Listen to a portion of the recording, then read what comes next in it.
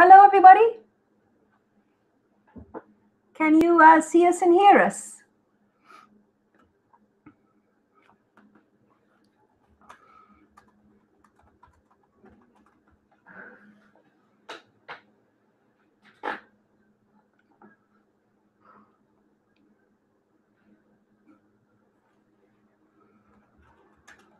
Just me one minute.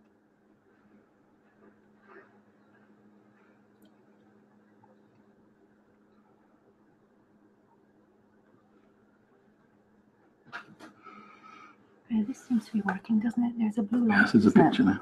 Yeah. Okay, great. So you can hear us now. Okay, brilliant. Okay. okay, everybody, we have Mervyn with us again today, and uh, this will answer all the questions that we were asking last time. So I'll uh, turn it over to him. Start. Okay, thanks very much, Noha. Uh, hello, everybody. Uh, continuing on from module one last week, uh, we have module two today. A similar format. Um, please, as we go through, if you have any questions at all, please ask them at the time, and we will take breaks during the presentation uh, and, and have a catch up and answer your questions as we go, rather than leaving it to the end. Don't leave it to the end, um, because if there's something you don't understand, we need to correct it straight away before we move on.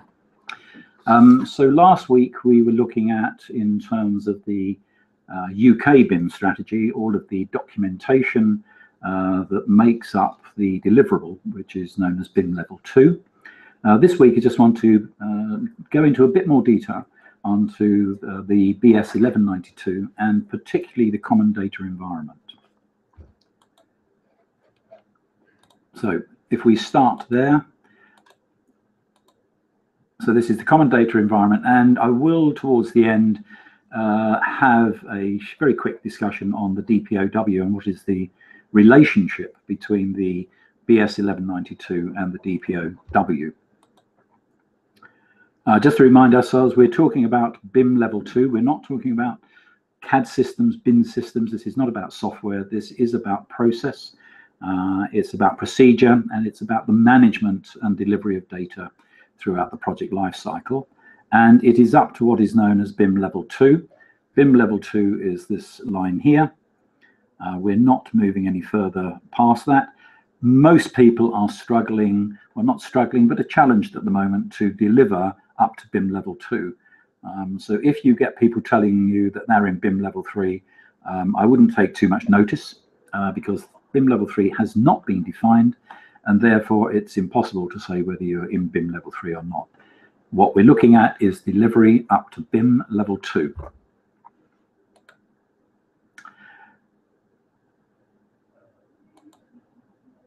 And I think, yep, sorry.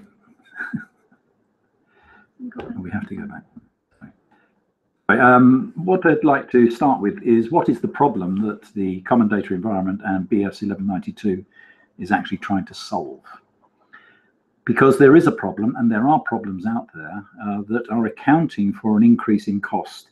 Um, through research, we, we know this of 20 to 25% uh, on at least 50% of all the projects delivered. So, what is the problem? This uh, diagram or this slide is showing two drawings from two disciplines, the architect and the structural engineer.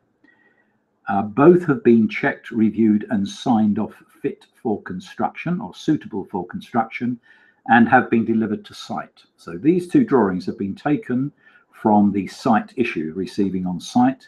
And in, in, in uh, traditional terms, what we used to do at this stage is to overlay the two drawings and then pin them on the uh, site hut window, wait for the sun to shine, and we could see what the difference was uh, between the two drawings.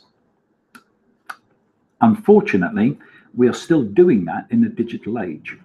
So that's what I'm attempting to do here is just to show that, say, the problem that occurred then when we were producing this information uh, analog on paper is exactly the same as the problem we seem to have now in a digital world.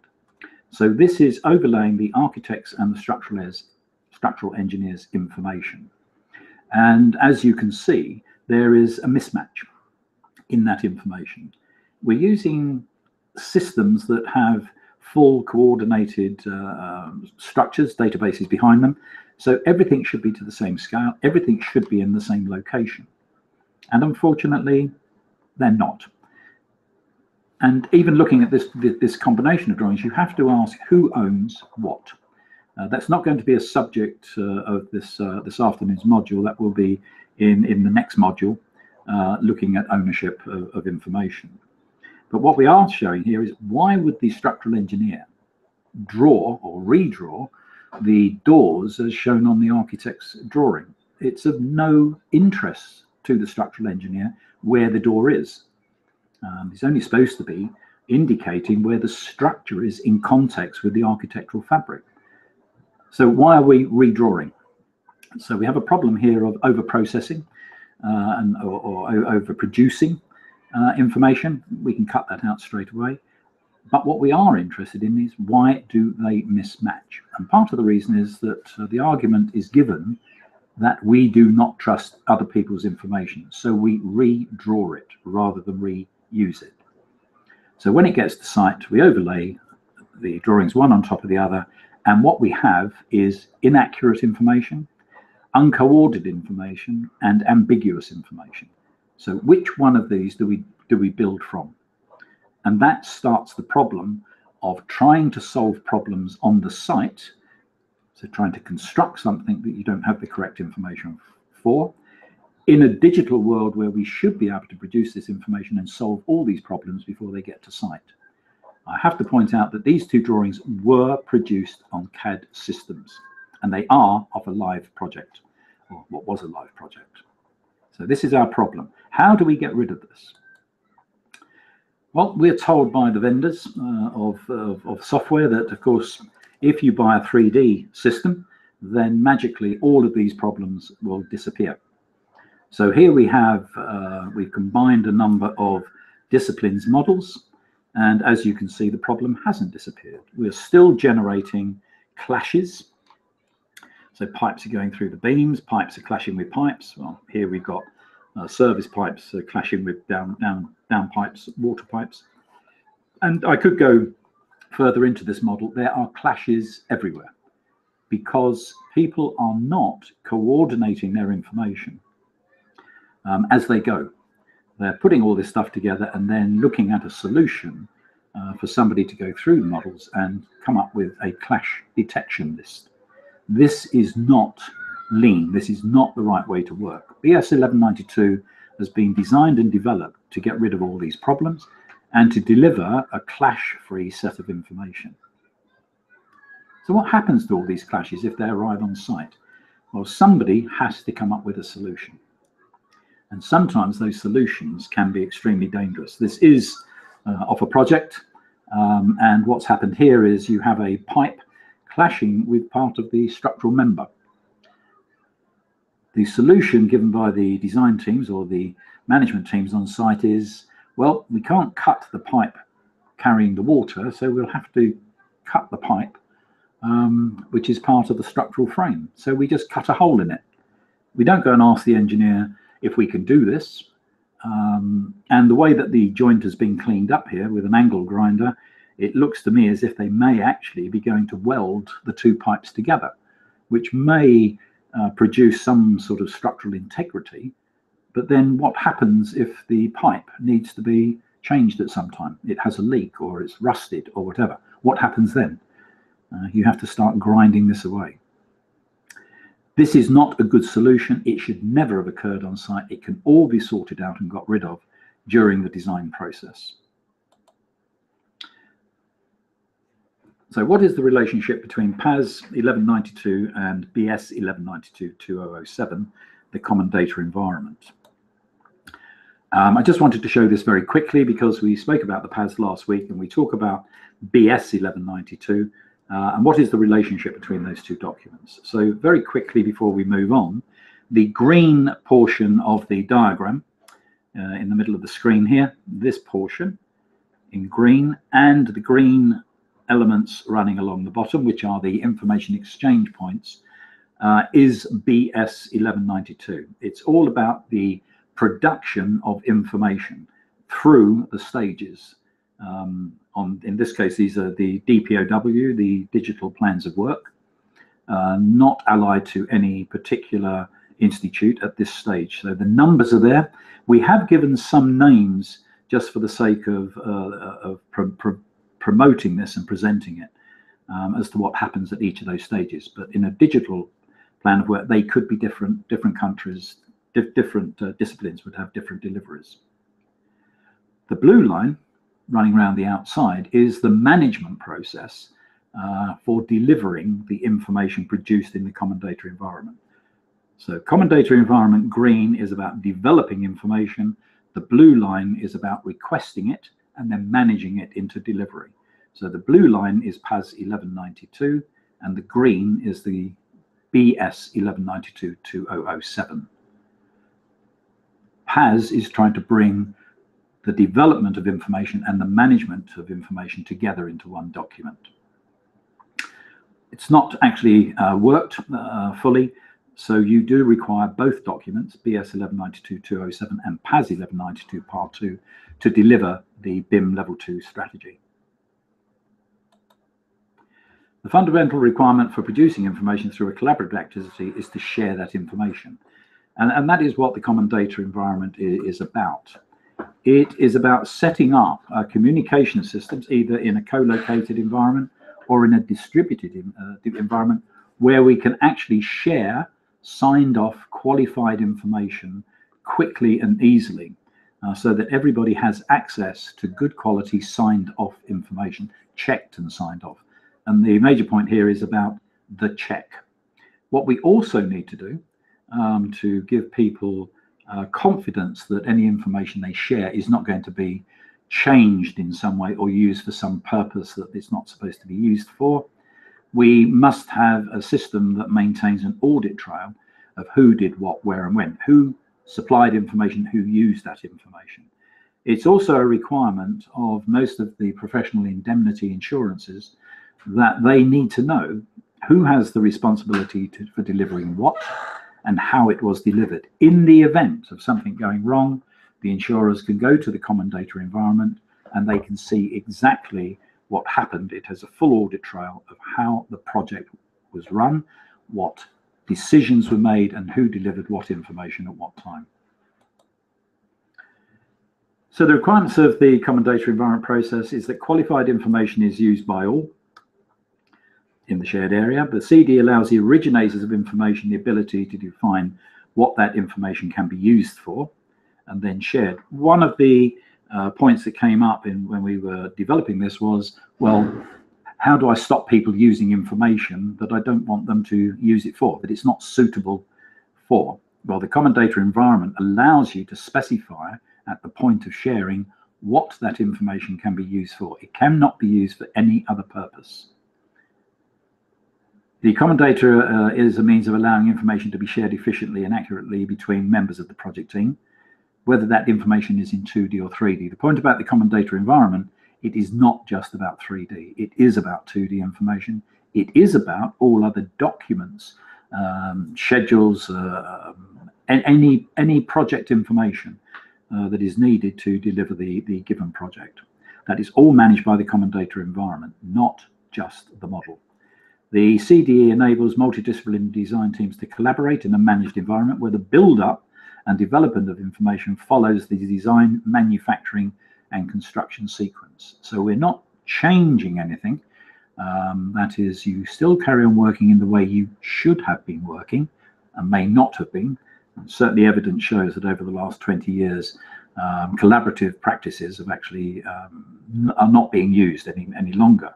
And all we're trying to do is to put back those processes and methodology we knew that worked. But with the technology, we can now manage that process and audit it um, as we as we go along. Uh, other things with the common data environment is to ensure that information is only generated once and then reused as many times as possible without change. So you do not, if we go back to that original drawing, the overlay of information, there is no need to redraw one another's information as long as it has been checked, reviewed, and signed off as suitable for spatial coordination, then you may use that information as a background onto which you then develop your information. In a 3D world, this is, as we'll see later on uh, in, in this presentation, allows you to develop your 3D information in context with others in such a way that you do not get a clash. You actually design and model out the clash. There are no clashes in the model. So we have a clash-free delivery of information. We do not have to do clash detection at the end of the day. The archive, sorry, uh, this information at the end of the day is then collected uh, together and is passed through into the asset information model for the FM to produce the FM document. So we are generating information, managing the information right the way through the delivery cycle for delivery in, into FM. Uh, one of the more important items here, as I've already mentioned, is the archive, which is where we keep an audit trail of all transactions. So as it says there, uh, in the event of a legal dispute or some project failure, uh, then the health and safety executive and others can access that information to find out why things went wrong. What does the common data environment look like? It's basically shown in this simplistic view um, of the common data environment, these, these four boxes. Work in progress, this is where you work in your own office, delivering information or generating information. Sorry? Use the mouse to point. Sorry. I, I, um, so the blue area is actually the work in progress area. And there are any number of different disciplines working in their own offices on their own information. Before you share it with others in another discipline, in another office, then you have to go through this approval process, this check, review, and sign off process, and then put it into the shared area so that others can reference your information as a background to developing their own. And at some point uh, in the delivery of information, you will uh, reach a milestone where you need to deliver uh, a contracted uh, delivery of information. Then you can combine the information out of the shared area into, let's say, drawings. And you can then go through an authorization process where they become accepted as contractual documents. So out of detail design, um, issuing those drawings as design complete, design intent complete, and then published to the contractor for further work. The archive, as we've said, then uh, you verify the information going into the archive, uh, and this holds a full record of all of the transactions, a full audit trail of who said what, who delivered what, and when they delivered it throughout the whole project life cycle. And that is the common data environment. So if we go back and look at this in detail, are there any questions that we need to um, answer before we move on? Uh, there was a request. Uh, it, would it, is it possible to uh, reference uh, the page number for the uh, uh, for the things that are coming out of the PAS? possible? Um, no. the reason is that these diagrams are actually taken from a document called the Guide to BS 1192-2007. Um, so you will not find uh, reference pages with these diagrams on them in the PAS. You would have to look at the uh, guide to BS 1192. It's a document called BIP 2207. Um, it actually, there is a cost to it. You can buy it off Amazon. Or I understand by the new year, it would actually be free for download by the BIM task group. But for the moment, I think it costs about £28 on Amazon. Uh, question. Uh, shouldn't in-house teams only reference each other's shared information? Otherwise, in-house, you would be working to different info to that of the wider team. Uh, sorry, I'm just trying to gather in my mind what you're asking for. If you're in an architect's office, let us say, and you're only referencing one another's information in the architect's office, how can you be producing information in context with the structural engineer? So the way to answer this question is, even when you are referencing one another's work in your own office, the information that you're referencing between one another should have been checked and signed off before you use it in your own office. Otherwise, you will and can, and we know, produce abortive work even in your own office. So sharing of information in the office should actually go out to check review and, and uh, sign off process into the shared area so that it can be referenced back within your own office. And also you have access to other disciplines information in the shared area so that you can reference that into your files to use as a backdrop when you are generating your own information. Remember that this is looking at a file-based process with a federated model. So we are not talking about the single model. This is about small models being developed by different people in different offices and collaborating to come up with one single source of information that represents the whole project. So referencing between one another should be checked in the same way as referencing uh, across disciplines should also be checked before you reuse it. Thank you, Mervyn. Another question, is it not better to ensure uh, all work in progress areas are stored on a common data environment, uh, on a common CDE issue, not designers working on remote servers? Um, we'll have a look at a slide later on today at the distributed network.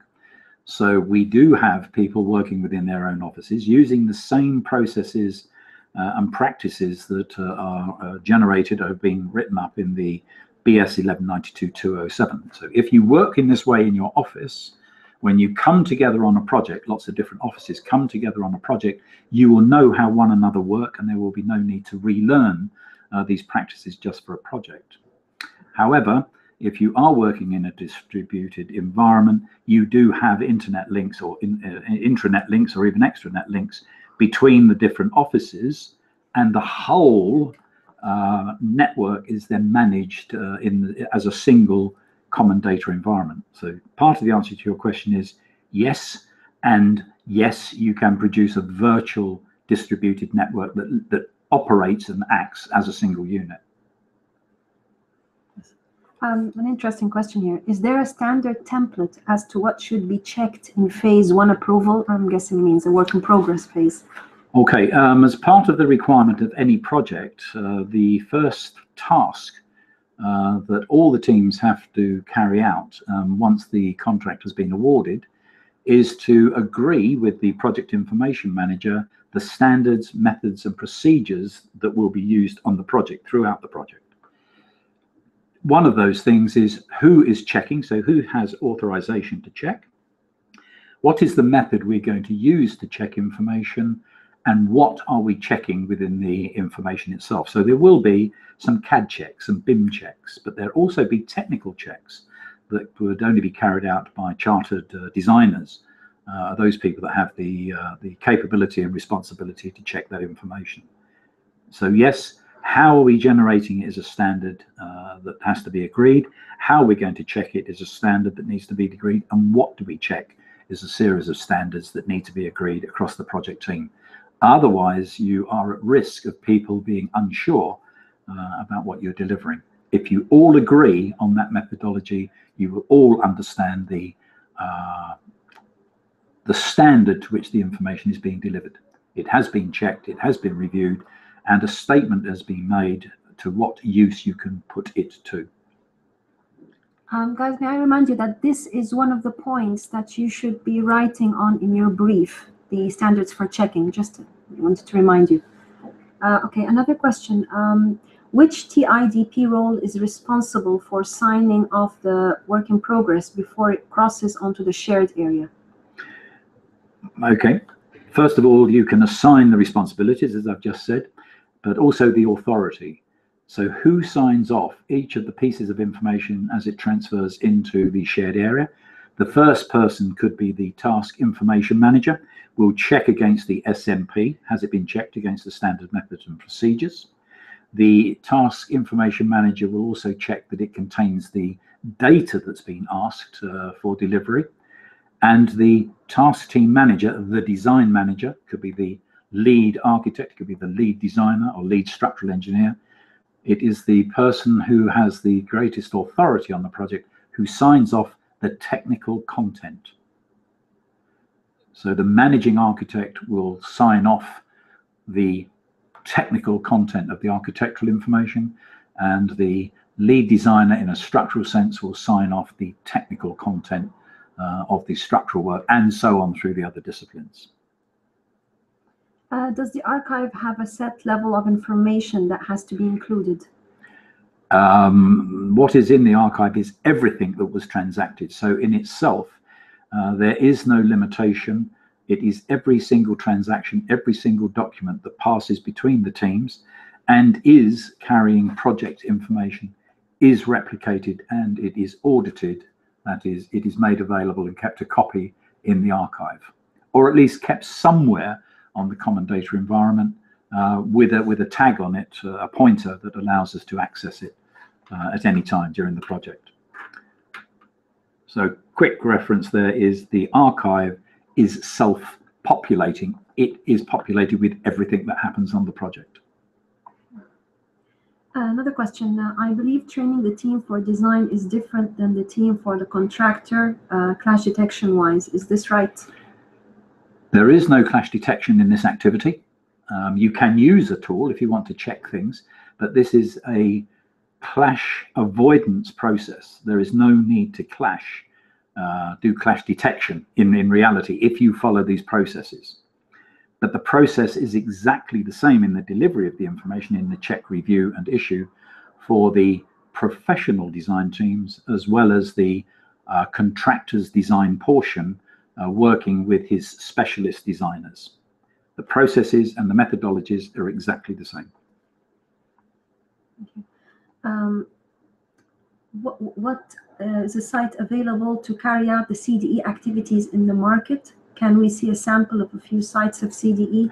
Uh, can we come back to that uh, later on towards the end of the uh, uh, the presentation? Okay, because there's another related one, how does ProjectWise work with Revit models? So it's related to. Okay. I, I, can answer that question, um, and we'll answer it at the end of the project, uh, at the end of this uh, module. So that's all for now. Okay, we'll we'll move on. So going through these four uh, areas of the of the common data environment, as you'll see later on in the extended view, there are more than four areas actually, but these are the main functional areas. So work in progress is non-verified design data used by the in-house design teams until so it has a has a suitability code on it, as you can see there, of S0. Suitability status code S0 means this information cannot be used for any purpose outside of this work in progress area. The version or revision and version is P preliminary, is preliminary information. It hasn't been signed off as contractual at this point, and it has an indexing on there. So the index is 01 02, 03, 04 for the revision, but there is also a sub-index, a version of 0.1, 0.2, 0.3, 0.4. We'll talk about those a little later on as to why they're there. So this can be individual people in the professional design task team. Let's say this is the architect. So this could represent, say, three different people working on this project. They produce their information, they put it through the approval process, they share it with one another but this is each individual team working individually in their own offices with shared information.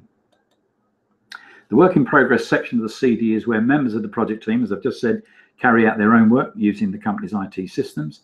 Such work in progress information is likely to be stored on your in-house servers with access to change information limited to the owners, that is the owners of the information, and other project team members that the company uh, specify can view it. So there are some access references required in the SMP. You will set up who is allowed to access what information, so a whole set of securities.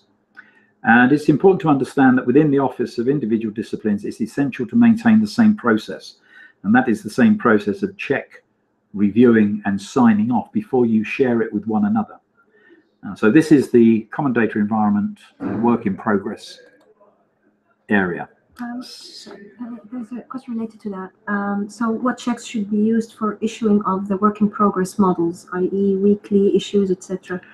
There is no set definition as to saying that you're going to issue a Monday, Tuesday, Wednesday, or once a week or once a month is not what the common data environment is about. The common data environment is about releasing information as soon as significant information is available to stop other teams carrying out abortive work. So if you have a change, let's say you are the initiating agent, If you have a change that you know about, you must impart that to the other teams as soon as you possibly can to stop them carrying on work that is going to be thrown away. So the task team manager or the design lead of that particular task must collaborate, that is, must inform the other teams that there is a change coming and should release that information as quickly as possible. It does not have to be complete when you issue it. You can issue it uh, uh, um, in, in a series of sequences, but whatever you issue should be complete and correct to that point. It doesn't have to be complete in its entirety, but whatever you publish should be correct. The checks that you do to uh, put it into the shared area are listed here as the check the model for stage completeness, or indeed into stage completeness, because you will continually issue information uh, during the delivery of each stage. The change model, uh, you move the suitability to a purpose, what you can use it for. So here, S1 says you may use this information for spatial coordination or coordination, and you would set the uh, the uh, revision code to the first integer, so P1, P2, P3. What you also do if you have dissimilar, people are using dissimilar software, one way of checking that you have no clashes is to share a clash rendition, which will be in the viewing software of choice. This is not a clash detection activity carried out by somebody else. This is about each author of the information checking their information does not have any clashes before they issue it. You will also check that information at the exchange point uh, has been fully delivered in the COBie. So your federated model and the federated COBie should contain the information that you've been asked to deliver at the stage completeness. So I said you're issuing in the stage, but at stage completion, you must make sure these things occur. And change implement and uh, change information, information and documentation suitability to suitable for information and set the major revision. So whatever's coming out of work in progress as S0, you can give different suitability codes to for different purposes. So the model could be used at S1 for spatial coordination, but the COBie information would be issued as S2 suitable for information. Um, so it's, it's not placing any other uh, use of that other than here is some information that you can look at. And approve all design deliverables to be shared for selected suitability. So once it's had its technical checks, then it's signed off by the task team manager, checked, reviewed and approved and passed into the shared area. These are just a few of the items, uh, some of the things that you would check for. We mentioned the SMP, which is about checking, uh, checking the uh, graphical completeness of the model. Uh, there are also these other checks, which we're showing here in addition to those basic SMP requirements. Can we take a question, Yep. Uh, presumably, you would have one copy of a model live in the uh, work in progress and another checked model with the same name in the shared area. The EDMS systems that I've used, Autodesk Vault and Bentley ProjectWise, don't like to have duplicate model names. Would you suggest adding revision codes to the model names? Would references then need to be manually repathed? No. Um, you, you have come up against a problem with some of the software that's available out there as to whether it can follow this process or not. The file name does not change. What does change is the metadata attached to it in the form of a suitability code and a revision. In most EDMS systems, if you put the revision code on its own, let's say, or even the status code on the end of a file name, and that revision code is indexing itself, it is treated by most EDMS systems as an individual file and therefore cannot track the process of delivery and the updating of each of those files. Um, okay. If, if an architect's model is released uh, to the shared area as S1 and the engineer wants to use it in their work in progress, does its status go back to S0 once this goes into the engineer's work in progress? No, because the the model at S, S1 does not is not copied into the work in progress area. It is only referenced, and therefore its status and its revision stays the same as it is, obviously, in the originating shared area. When you have finished your work, if you're the structural engineer and you are going to publish or share your model file, you do not include, you detach any other author's information. You never republish somebody else's information. And that's why these things are all locked and referenced. You cannot change them, you can only use them as background information, and you never republish them. Mm, thank you. Okay. So it is the role of the task team manager to check, review and approve the information. It is the role of the task team manager to check the technical content. It is the role of the task information manager, the TIM, to ensure that all models and drawings uh, conform to the agreed project standards. And it is the role of the task information manager, the TIM, to ensure that all models, drawings and documents are checked, reviewed and signed off for a suitability purpose before sharing. Now, there is a little conundrum here, and that is that whilst the task information manager is subservient to the task team manager, he works for the task team manager, the task information manager also has a responsibility to the project information manager. And that is, he's the whistleblower that says, I am working in a team that is not checking their information uh, the task team manager is not signing it off. Perhaps he's not there to be able to sign it off, and therefore possible erroneous information is now being shared. It is up to the project information manager to then sort that out and make sure that all the information is signed off and suitable uh, against the standards, methods, and procedures and has been signed off by the authorizing agents. So the task information manager has quite an interesting and important role to make sure that everything conforms to the agreed standard methods and procedures, even if it means telling his boss that he hasn't carried out the correct procedures. Okay, the shared area is actually um, two areas in one because you want to share with the wider project team, but there are also conversations going on between the design teams and the client. And so there may be information, once again, this is about security access, who is allowed to see what information. There is some information that may not be available to the wider project team. Uh, it's only a conversation between the lead design and the client themselves. So this has just been represented in this diagram by this pink area sitting behind the project shared area. So we have a client shared area as well. This is, this is about securities. Who is allowed to see what information? So in the shared information, we must have verified design data shared with the project teams. It is ongoing design development. It is not complete at this stage. The suitability code is S1234, and the revision will only hold the integer P01020004. It does not have the version on it. I'll come back to the version in a moment. So the shared section of the CDE is where information can be made available to others in a safe environment. The early release of information assists in the rapid development of the design solution. Uh, to allow this to be uh, achieved, the concept of information suitability or status has been adopted. So this is information that we sign off and we are saying that you may use this for a given purpose. It is suitable for a given purpose. We are not issuing it in a contractual form. And that brings me to the point that PAS 1192 Part 2 has an error in the, in the editing and publication. Um, towards the back of the document, you will find um, a chart that shows the status codes, the S's, the D's, etc. And also there is a reference there that information is issued under the status code, issued for coordination. This is wrong, and the term suitability, which is in BS 1192-207, will still be used, and that document is in the process of being updated at the moment. So use suitability, not issued, when you have an S suitability or status code.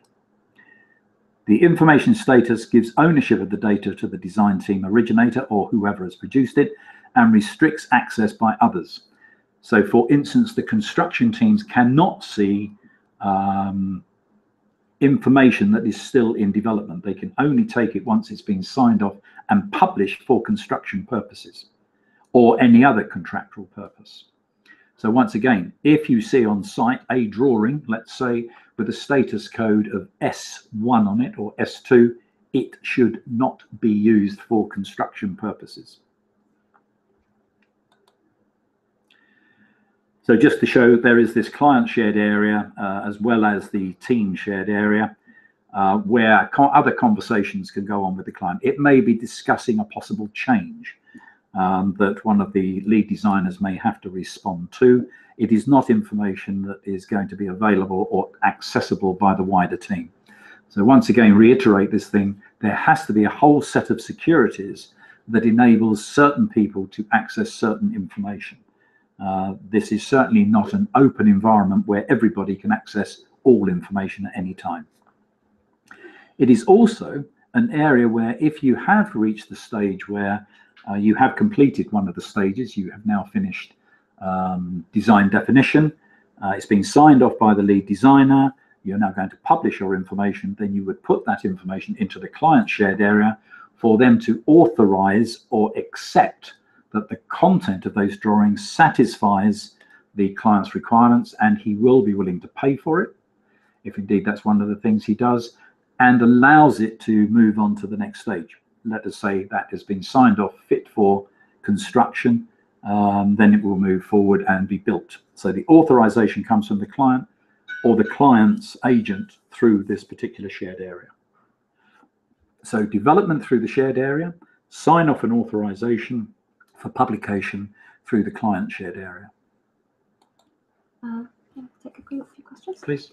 Uh, if the data is not repeated, does this mean that the structural columns or load-bearing walls are not shown in the architectural drawings? What about elements such as roof structure, slab edge, etc.? What I've said is that you use that information to produce uh, your information in context uh, in this process, when it comes to the point where you're going to deliver drawings, then those drawings can be combined by the if those model files or those files can be combined by each individual discipline to produce their form of drawing. What I mean by that is that the architect will want to emphasize certain architectural features on the drawing with perhaps a thicker line and suppress the architectural, the structural engineer's information where the structural engineer may want to use those same drawings or those same model files, uh, but emphasize the structural uh, content and suppress by in a lighter or smaller line style all of the architectural information and likewise with the M, the E's and the P's. So it's shared information that can be reconstructed into deliverable drawings using the shared or referenced files Another question, if the disciplines directly reference models in the CDE, assuming they have the same name, those models could update automatically for all disciplines referencing them. This may happen at a time that's not convenient, i.e. during an issue. Would it not be better to have a shared area on a project extranet, say, and then local teams create a local copy of shared that they reference and update when convenient? No, you don't have to copy it. You must not copy it. You must not have duplicate copies within the CDE or even in the extended CDE. As you are doing this by reference, it's not an automatic update. You will be informed that information has been changed and that an updated version is available. And it will be up to you in your discipline to attach that referenced information at the time that you want to attach it. So these are not fully automated processes at all for just the reasons you've specified that you may not want to update and you don't want things updating at inconvenient points during your design development. So the CDE must be subservient to your needs, not you subservient to an IT technology that is not aiding you. Uh, another uh, question, how do we manage the ownership of the authors? Okay, um, ownership uh, of uh, the authors is specified in the file naming convention. Uh, that's why you have the file naming convention, so you can say what project does it belong to, who owns the responsibility, and we'll, we will come in a moment, just to stay with me for the moment. You then have the company or, or the, or the uh, practice that has the responsibility for generating information, and if it's a multidisciplinary in, environment, then you use the discipline codes of architect, engineer, M, the E, and the P to, to show what discipline is producing the information. The term author is very difficult because you do not put the author's name on anything. The author is an individual that produces information, and it is only the company and the discipline that has ownership, not the individual. What we don't want to end up is that this is Pete's file or George's file or something like that. That is not a managed activity. So the file naming convention gives ownership to the company who holds the contract for delivery of that information and to the discipline within that company that has the responsibility for generating that information. The individual is not referenced at all. A related question, would it not be good practice to verify on the drawings who is responsible for what information if you are referencing in other disciplines information? Right at the start of this uh, project, when we'll deal with this in, in next week's module, is looking at the ownership of information.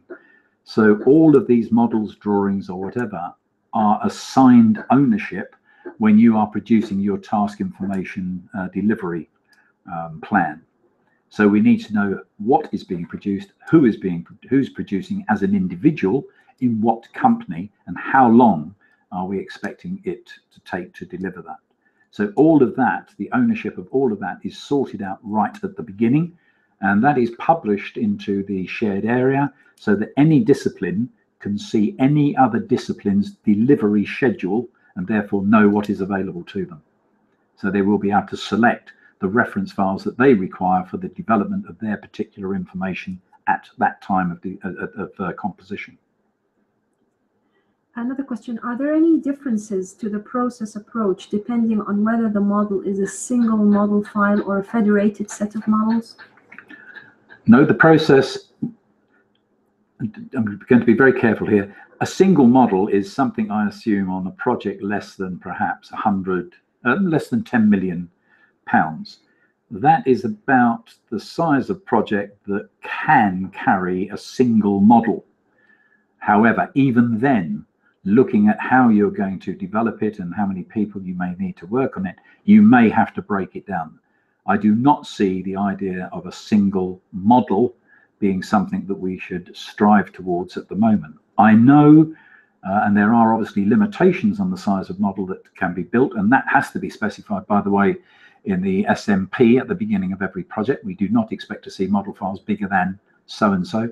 Uh, this is to suit the technologies that are available uh, between the project teams. Some people only have very small pipes going into their organizations. They can only download so, so much information at a certain speed. Uh, so we have to cater for the weakest link in, in that particular sense. But the process of, of delivery between the disciplines is exactly the same for a single model in that event as you do with a federated model. A federated model should be seen as a single model once you have referenced in all of the other disciplines information, and it will have a federated COBie file. The COBie file will only have the information that's in that federated model itself. And all of those COBie files will have to be aggregated up at some time into a single COBie delivery. Um, I hope that answers the question. The same process, whether it's single or multiple. Thank you. Okay, so the shared area actually consists of two areas, as I've said, uh, one for the project team to collaborate in and the other to allow a conversation to be carried out uh, with the client or to authorize things. And it would also include, as, uh, as I've just mentioned, the client sign-off process or authorization. So the work in progress uh, to shared process, as we can see here, you ask the question of uh, do these come back in when you reference them in, do they uh, become S0 again? Well, here we have the architect issuing different model files, grids, walls, whatever. S0 P101, once it's gone through the check review and sign off process in the shared area, it has a usability, suitability status of S1. You can use this for coordination. And the revision rather than the version, you now have this revision code which only holds the first integer. But P is at the beginning of it. This is the preliminary information. It is not contractual. So when information is shared, it must have a status suitability code of what it may be used for. This is about the third or fourth time um, I've gone through this, uh, but I feel that uh, this is what we have to do. uh, and a revision code. Uh, that is the sequence that, that demonstrates the sequence of, of development. It must be reviewed, checked, and signed off by the relevant authorities. We'll keep saying this. A common data environment is about sharing, reviewed, checked, and signed off information suitable for a stated purpose, with the ownership of that information being known. Whilst this looks like a very uh, linear process, and in fact, any process, any design process is linear, somebody has to start off with an idea that they then share with others to, to uh, start the conversation of this is what I would like to build. Mr. Structural Engineer, would it will it stand up? Where do I need to put my supports? And at some later date, the MDEs and the Ps come in. This conversation continues. So it is a linear process. However, once it gets moving, this conversation is continuous. So we're not issuing information once a month. We're issuing as soon as we have a relevant change to the information that everybody else needs to act upon. So this diagram is just trying to illustrate that each of the disciplines, whether it be architecture, structure, or whatever, is continuously sharing information, which is continuously being, so we're sharing information continuously through these light blue arrows, and we are continually referencing back into our shared areas to carry on with the work. Here is new information. I've got to update mine. I've got to see whether it works. Is there a clash? Do I need to uh, go and talk to somebody about this? Um, there is new design information that I haven't acted upon. I now need to act upon it. So this becomes a total process, continuous process. And at the same time, you are also in this process while you're developing information, other information may have reached the point where you need to publish it so you also have this ability to generate information from shared information only in the form of contractual deliveries at the end of each of the stages. So sharing information is a continuous activity allowing for a managed concurrent development process, not restricted to a Friday afternoon. Files models are referenced not copied, so there are not multiple copies of the same model within the system. There is only one copy and everything is referenced one to the other. And information may not be complete, but it allows for a discussion or collaboration to occur uh, amongst the project teams to go through those iterations until the information is complete and satisfies the delivery uh, at that stage. And at the same time, it ensures spatial coordination as a form of clash avoidance. I know I've said this three or four times already, and I may say it again as we move forward, but it is to understand that this is a managed process, continuously sharing information, get that conversation going, and end up with spatially coordinated information with, with zero clashes, a zero defect model. Uh, take a couple of Please, yeah. Um, uh, a question about roles here. What is the difference between the information manager and the BIM manager? I don't know what a BIM manager is, is my only answer to that question. Um, it is a title that somebody's been given, and I do not know of any single specification that actually says what a BIM manager role is. However, there is a specification for a project information manager or a task information manager uh, laid down in the PAS and the BS11, well, particularly in the PAS under roles and responsibilities, which we will be dealing with next week. CAD managers, BIM managers, these are titles that have been given to people to, sorry, I'm, I'm going to sound really, really nasty here, usually to be able to give them uh, some extra pay uh, because they they they require it because of their capability and competence. But it's a, a BIM manager is not a title that I accept. Task information manager I can accept because I know what they do. BIM is not a discipline. So you are either an architectural technician, a structural technician, or an architect qualified, or a structural engineer sorry, I, I, I, don't see the specification for a BIM manager. Certainly in, in the early days when I was trained as a draftsman, I, I didn't have a title of pencil engineer. And, and that's where we seem to be with this whole concept of, of BIM. If you have a look in the PAS, uh, and certainly at the next iteration of the PAS, the only title of BIM is given to BIM authors. Uh, and it was put in there to suggest that information that is going to be in this BIM environment, there are many authors of information that make up BIM. In the next iteration of the PAS, we're removing the B from that, and it's just going to be information managers. I'm, I'm, I'm sorry about that, uh, giving that sort of definition, but um, there, there is a problem here where titles have proliferated. I even know of BIM directors. Um, I don't know what that is either. Uh, and anything that's related for perhaps PR purposes, you just put BIM in front of it and that that sells. Uh, that's not what this is about. This is about development of information and the management of information uh, towards the delivery of a project.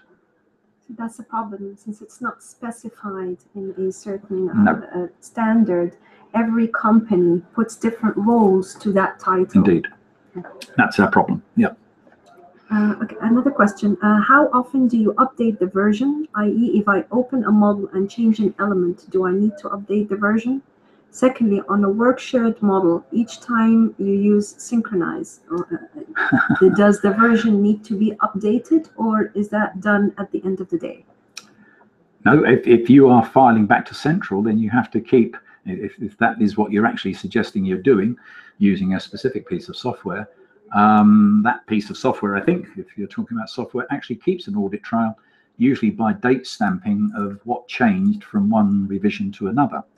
However, it is not possible to manage the files, to check the information, uh, review it and sign it off before it's used by others. There is a tendency in that environment for people to continuously generate information that's used by others that has not been qualified in any way that it's actually correct.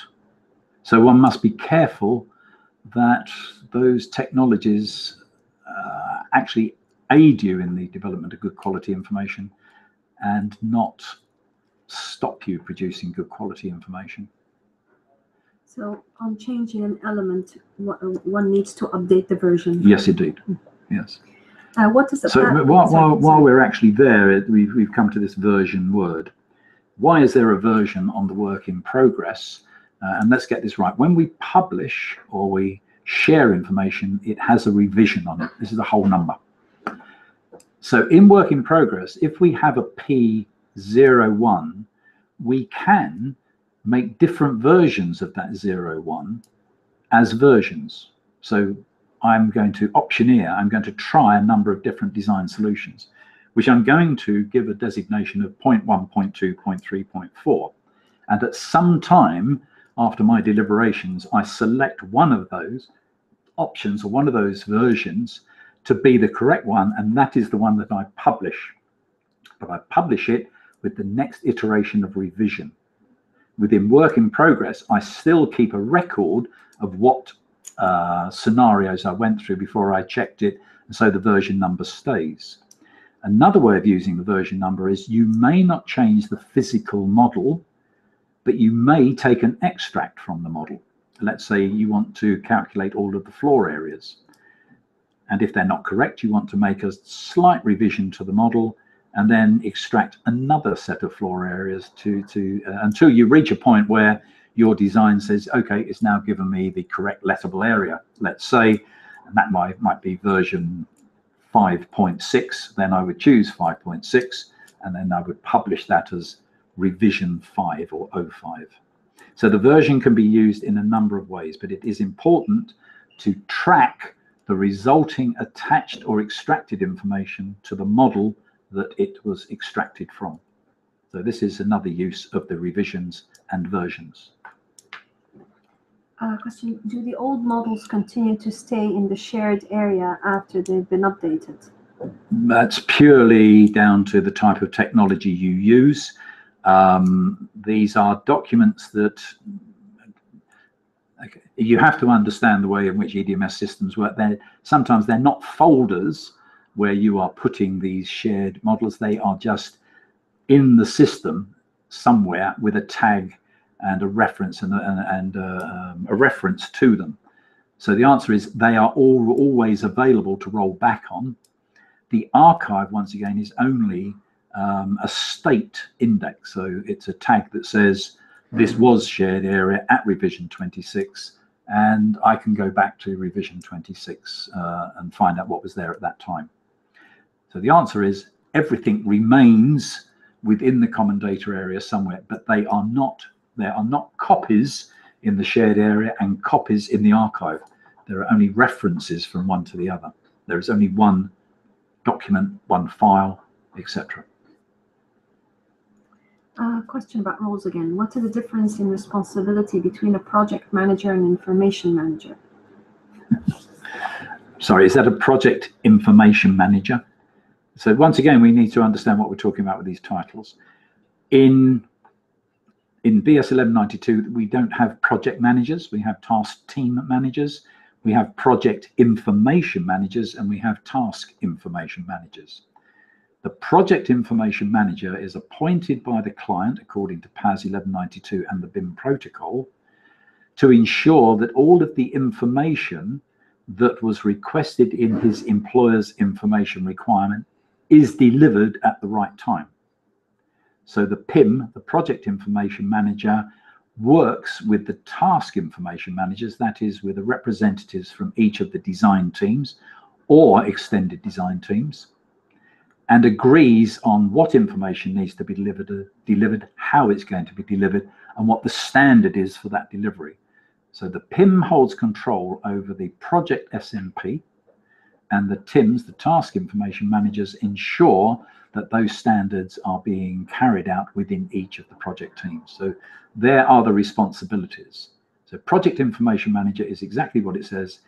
He is the one that is ensuring that the information that's being requested from the project is delivered, but he's not a project manager in perhaps the looser term of I'm a design manager, architectural design manager, or a structural design manager.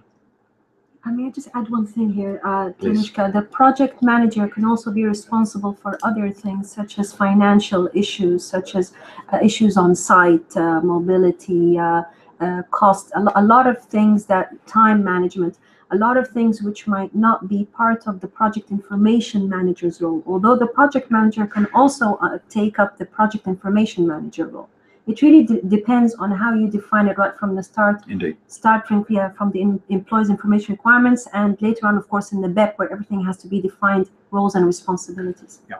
If we go back to PAS 1192, we have tried to do this uh, in, in, in the term that the project manager, which is the old term that we may be using, or project design coordinator or design coordination manager that used to be employed by the contractor, actually has a title now, which is Project Delivery Manager.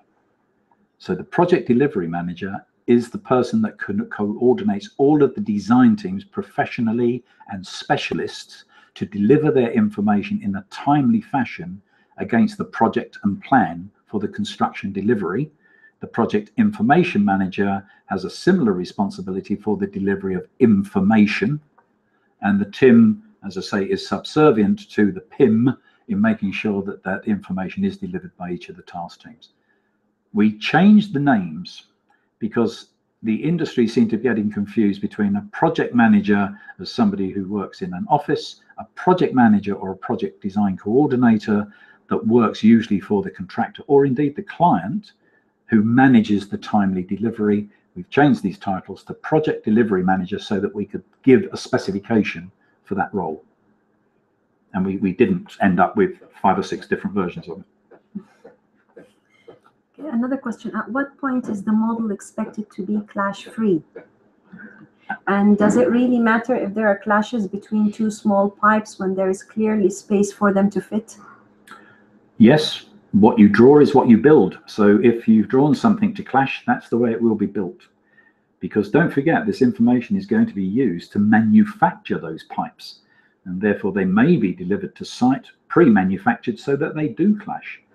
So the whole point about this is that the virtual construction model must represent what you're going to build. There will inevitably be defects and deviations. so you will get some clashes on site, even though the model may be clash free.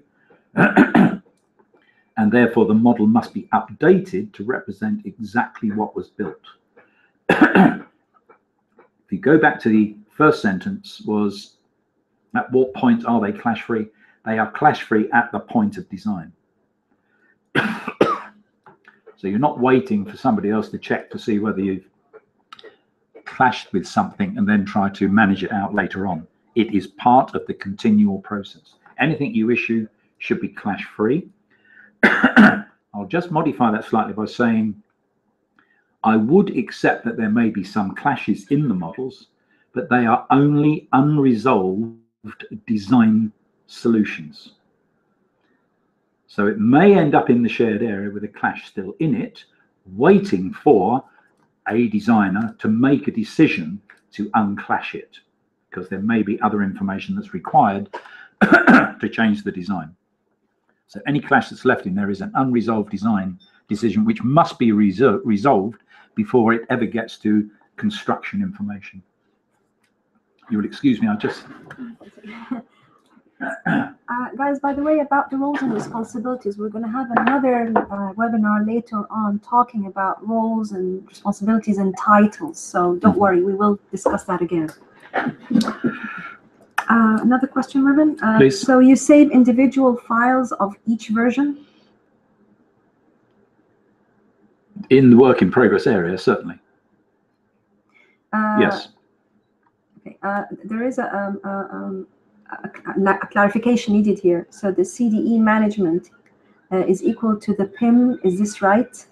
I'm not sure what that means exactly. So the CDE management is is equal to the project information management. I'm guessing he's saying. Okay, the common data environment, depending in which form you put it together, and we, we will talk about this a little bit more later. What you're looking for is an automated process as far as you can. So as you as you file away your model files, then it's a good thing if that automatically updates the revision and the version. The only time when you have a manual transfer is when you publish into the shared or you transfer into the shared area where you remove the version index so that in the shared area you only have revisions but you can actually set the systems up to do that you mentioned ProjectWise early earlier that is one of the uh, systems that does do that, as as do a number of others. Not all of them, but a number of others do the same thing. So you can automate this process to a large degree. I think what the question might mean, Mervyn, is um, are the responsibilities of the project information manager to manage the common data environment? That is the role that is placed upon him um, by the by the author, by the uh, employer. So that is the first thing, and that is the responsibility of the PIM is to provide a common data environment. It does not state that he manages it necessarily, but he is there to make sure one is available and has been provided for the project. So you really need to read the BIM protocol carefully as to what the responsibility of the PIM is. He will say, I want one of these, and it will be made available for the full project team. It will most likely, as a tool, be managed by the project IT managers not by the BIM authors. So would there be a, a, separate information manager with the presence of a project information manager? That is the project information manager, as it says in the protocol, that's appointed by the, well, when it doesn't say appointed, actually, what it says is ensures that there is a project information manager on the project. So it may be the design lead that will make that uh, PIM available at during the design process.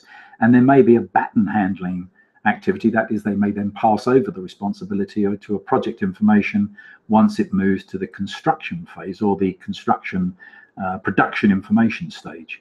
Or it may be that the PIM, uh, like a project delivery manager, will be appointed by the client and they remain there for the duration of the project. There are different ways of, of that person being available whatever it is, they have a responsibility for the CDE, but they don't necessarily manage it in terms of being IT managers or IT specialists. There is talk here about soft clashes, but I think this is not the uh, about uh, soft clashes. Yeah. Okay. Um, yes. Let's go there. What about clashes? What's the definition of soft clash? A soft clash is, well, two possibilities which people don't take into account when they're building their models. So a soft clash could be that there is some insulation, uh, let's say around pipes, and, and therefore we, we don't even want the insulation to clash.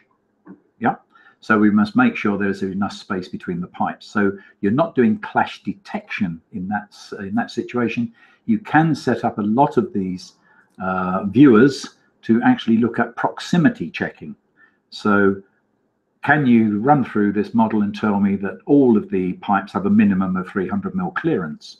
That's one type of soft clash. That, is the second one about proximity. And certainly that becomes important in, let's say, hospitals where you have inflammable gaseous uh, materials uh, being in close proximity, let's say an oxygen supply line. You certainly don't want those in close proximity to one another. So you could do a clash against those types of things.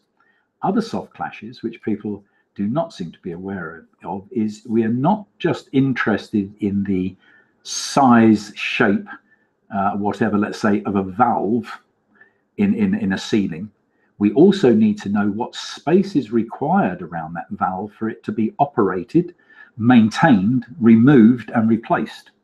So most of these things, cabinets where you have to get inside to maintain electrical switchgear, usually tell you how much space they need around the cabinet for a maintenance engineer to be able to maintain that that that element.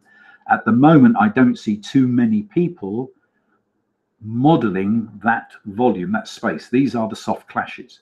If we have a look at some other architectural requirements or health and safety requirements or even disability requirements is we how many people are actually checking to make sure that their door swings let's say in a corridor still allow wheelchair um, access so the doors are not touching one another and any two doors that are left open in the corridor leave a leave a space of I, I can't remember what the distance is but let's say 1.2 meters so that a wheelchair could pass through so there are lots of other checking capabilities that you could use some of these tools for that people are not using them for at the moment Again, guys, we will talk a lot about clash detection later on as well. Yeah. Uh, where does a design consultant fit into making things clash free? Again, the roles and Uh, responsibilities. yes. Uh, well, the, part of the problem here is um, we have to go right the way back, which we will be doing next week, to the volume strategy. And that is what is the role of the consultant versus the role of the specialist engineer, if we're going to use the term consultant about engineers, they can have consulting architects, of course. Uh, you have to look at what is the responsibility uh, of one or another.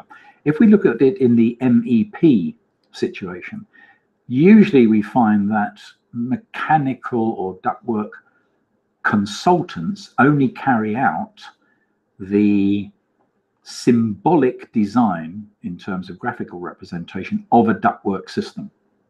So they will tell you where it goes. They will tell you what size duct you really need.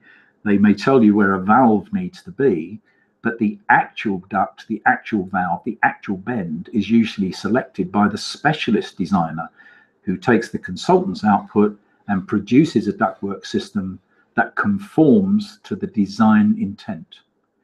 It is then the responsibility of the consultant engineer to check the specialist's uh, final solution to make sure that it still complies mathematically, because let's face it, they, that is a fluid dynamics exercise. Uh, so you have to re, re uh, check that the ductwork provided carries out the requirements of the consulting engineer. It is understanding the responsibilities and, and what the outputs of these different people are. Um, question, uh, if you are uh, updating the version or revision number on the model, then you will have to relink it to the federated model. The naming of the models should stay the same uh, from start to finish, but the folder they're saved in can be updated with the version and revision number. Here back to the first thing you said there. The federated models aren't linked together in any way. There is no physical link between the federated models. What holds the federated models together is their position in space. So in the volume strategy and also in the subdivision of the project into federated models, there are defined boundaries. There is no overlap and there is no duplication between those models.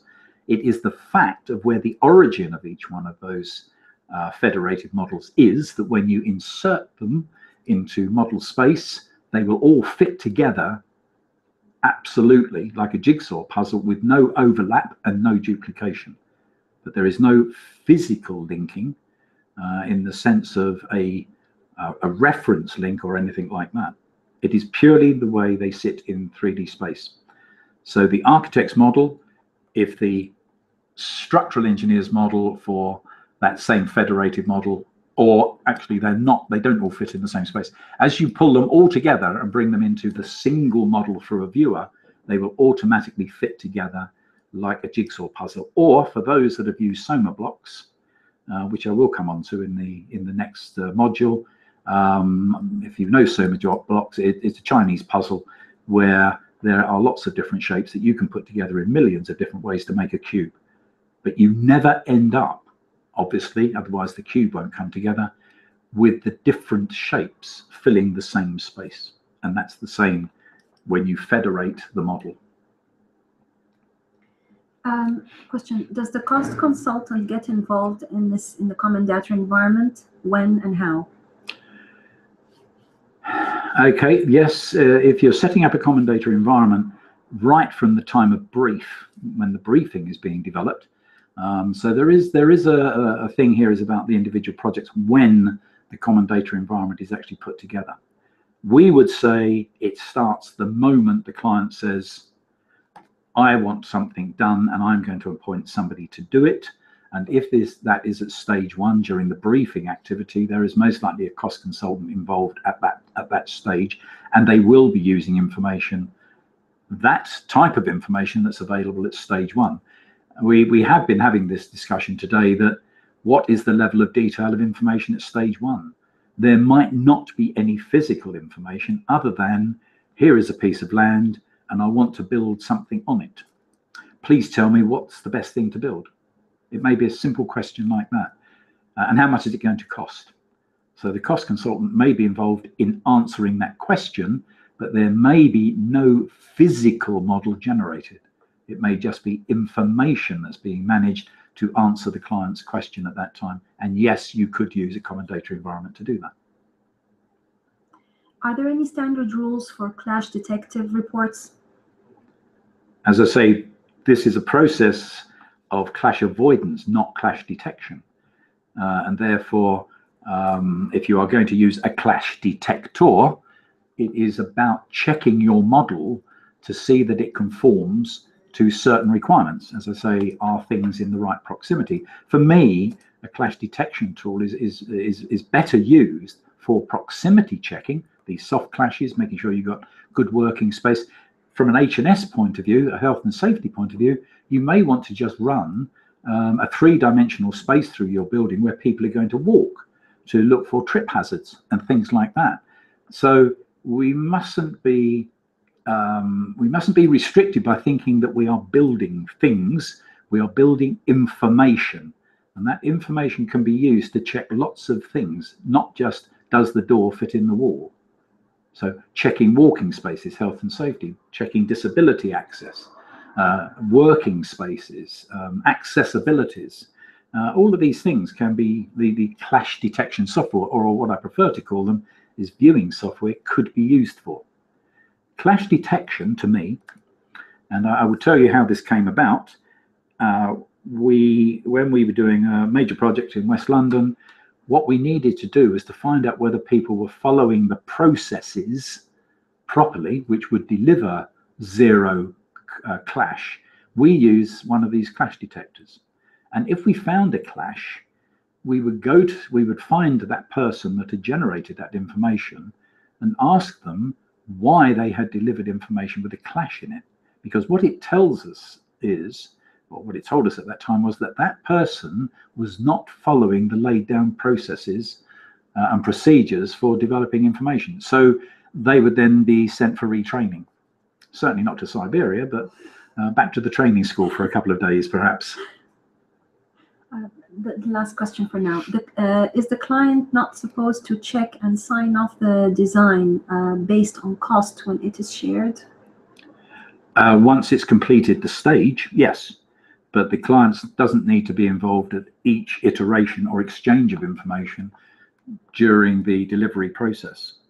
So yes, there will be a sign off at cost at the end of the stages, at the end of brief, at the end of concept, and at the uh, end of the design stage, or certainly the design definition stage.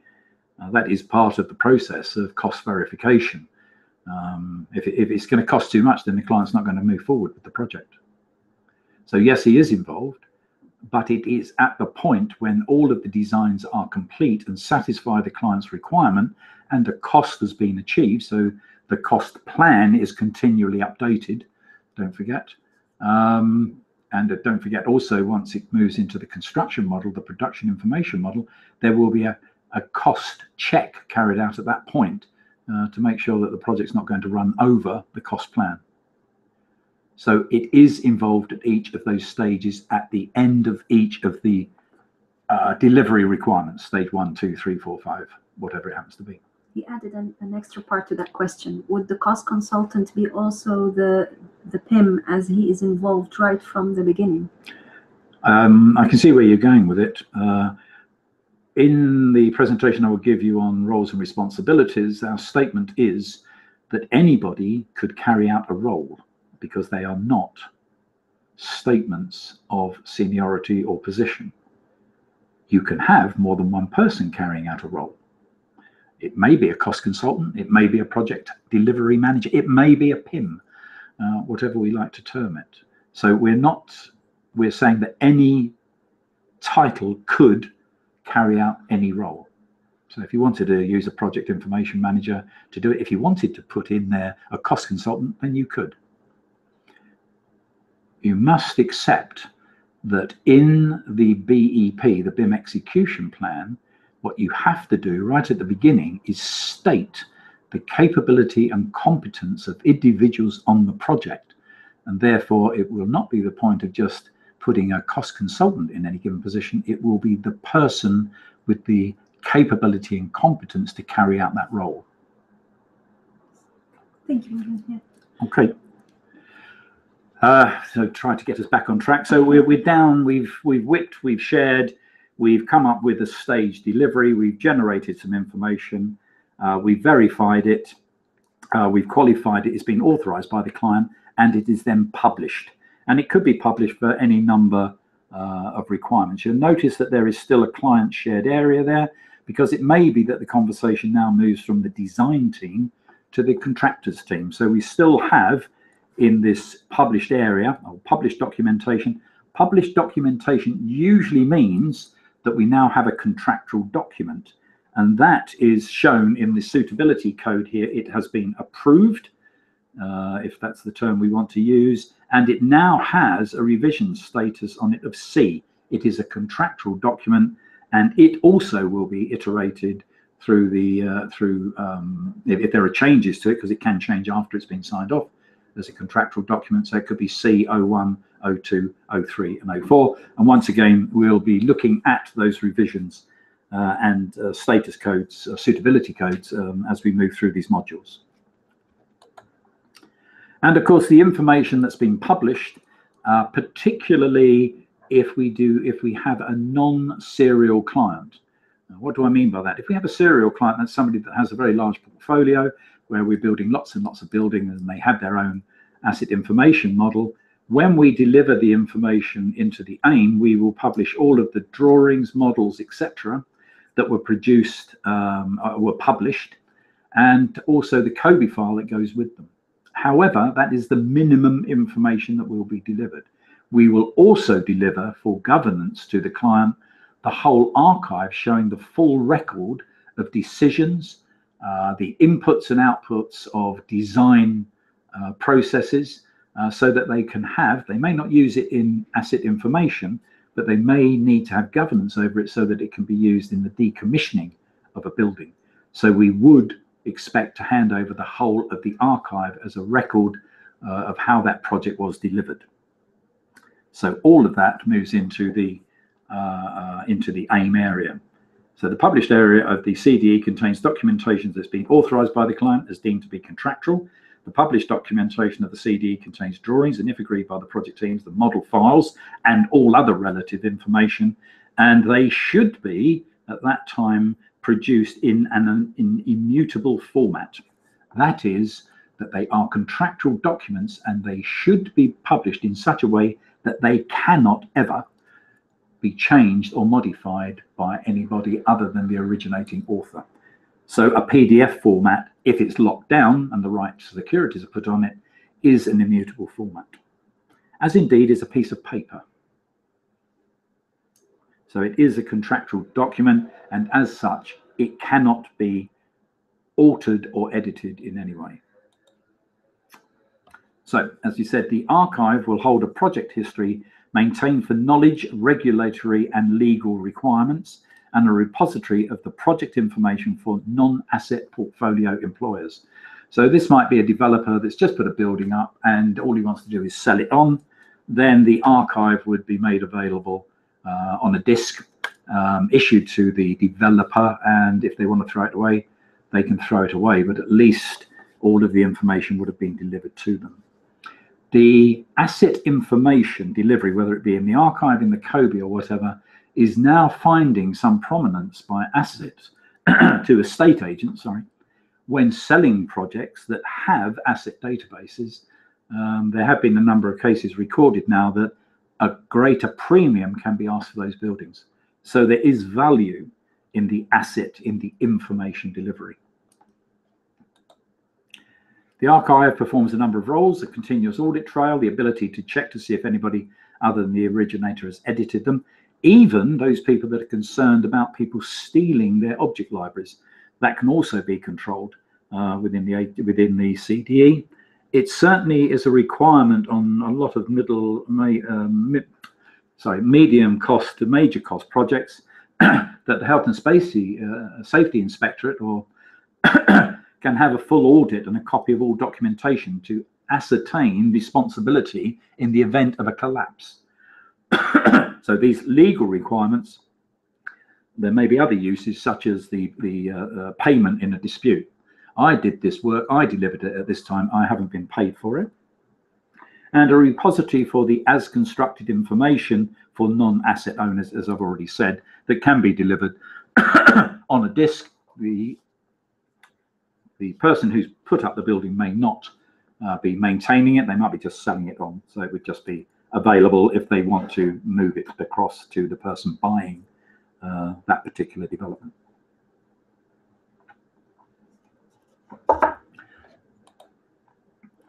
Okay, the key points in all of this is files in the shared area are primarily revisions. There are no versions to them. So it just rolling this up. Files in the shared area are non-contractual. Files in the shared state or the shared area are visible to all task teams. It's not absolutely true because under the securities uh, that you may set on the project, only certain task teams may be allowed to see certain other task teams. So it's not it's not open to everybody necessarily. Files in the shared state must have a status code to identify what the suitability of that file is, and it is specified by the owner or the author or the responsible agent for that information. And others cannot use that information for any other purpose than the suitability that is stated. Files in the shared state can only be used for the suitability uh, that has been defined for them. And if a in a distributed uh, CDE is used, there may be multiple logical areas that hold files in the shared state, but there must be a single project shared area. So there are no copies of models, there are references of models from one um, distributed uh, CDE to another. Some of the, oops, we seem to have lost uh, the text at the top there, sorry about that. Um, the status code are sh within shared, these are the non-contractual areas. So they are all denoted by the fact they have an S in front of them, so shared status and suitable for.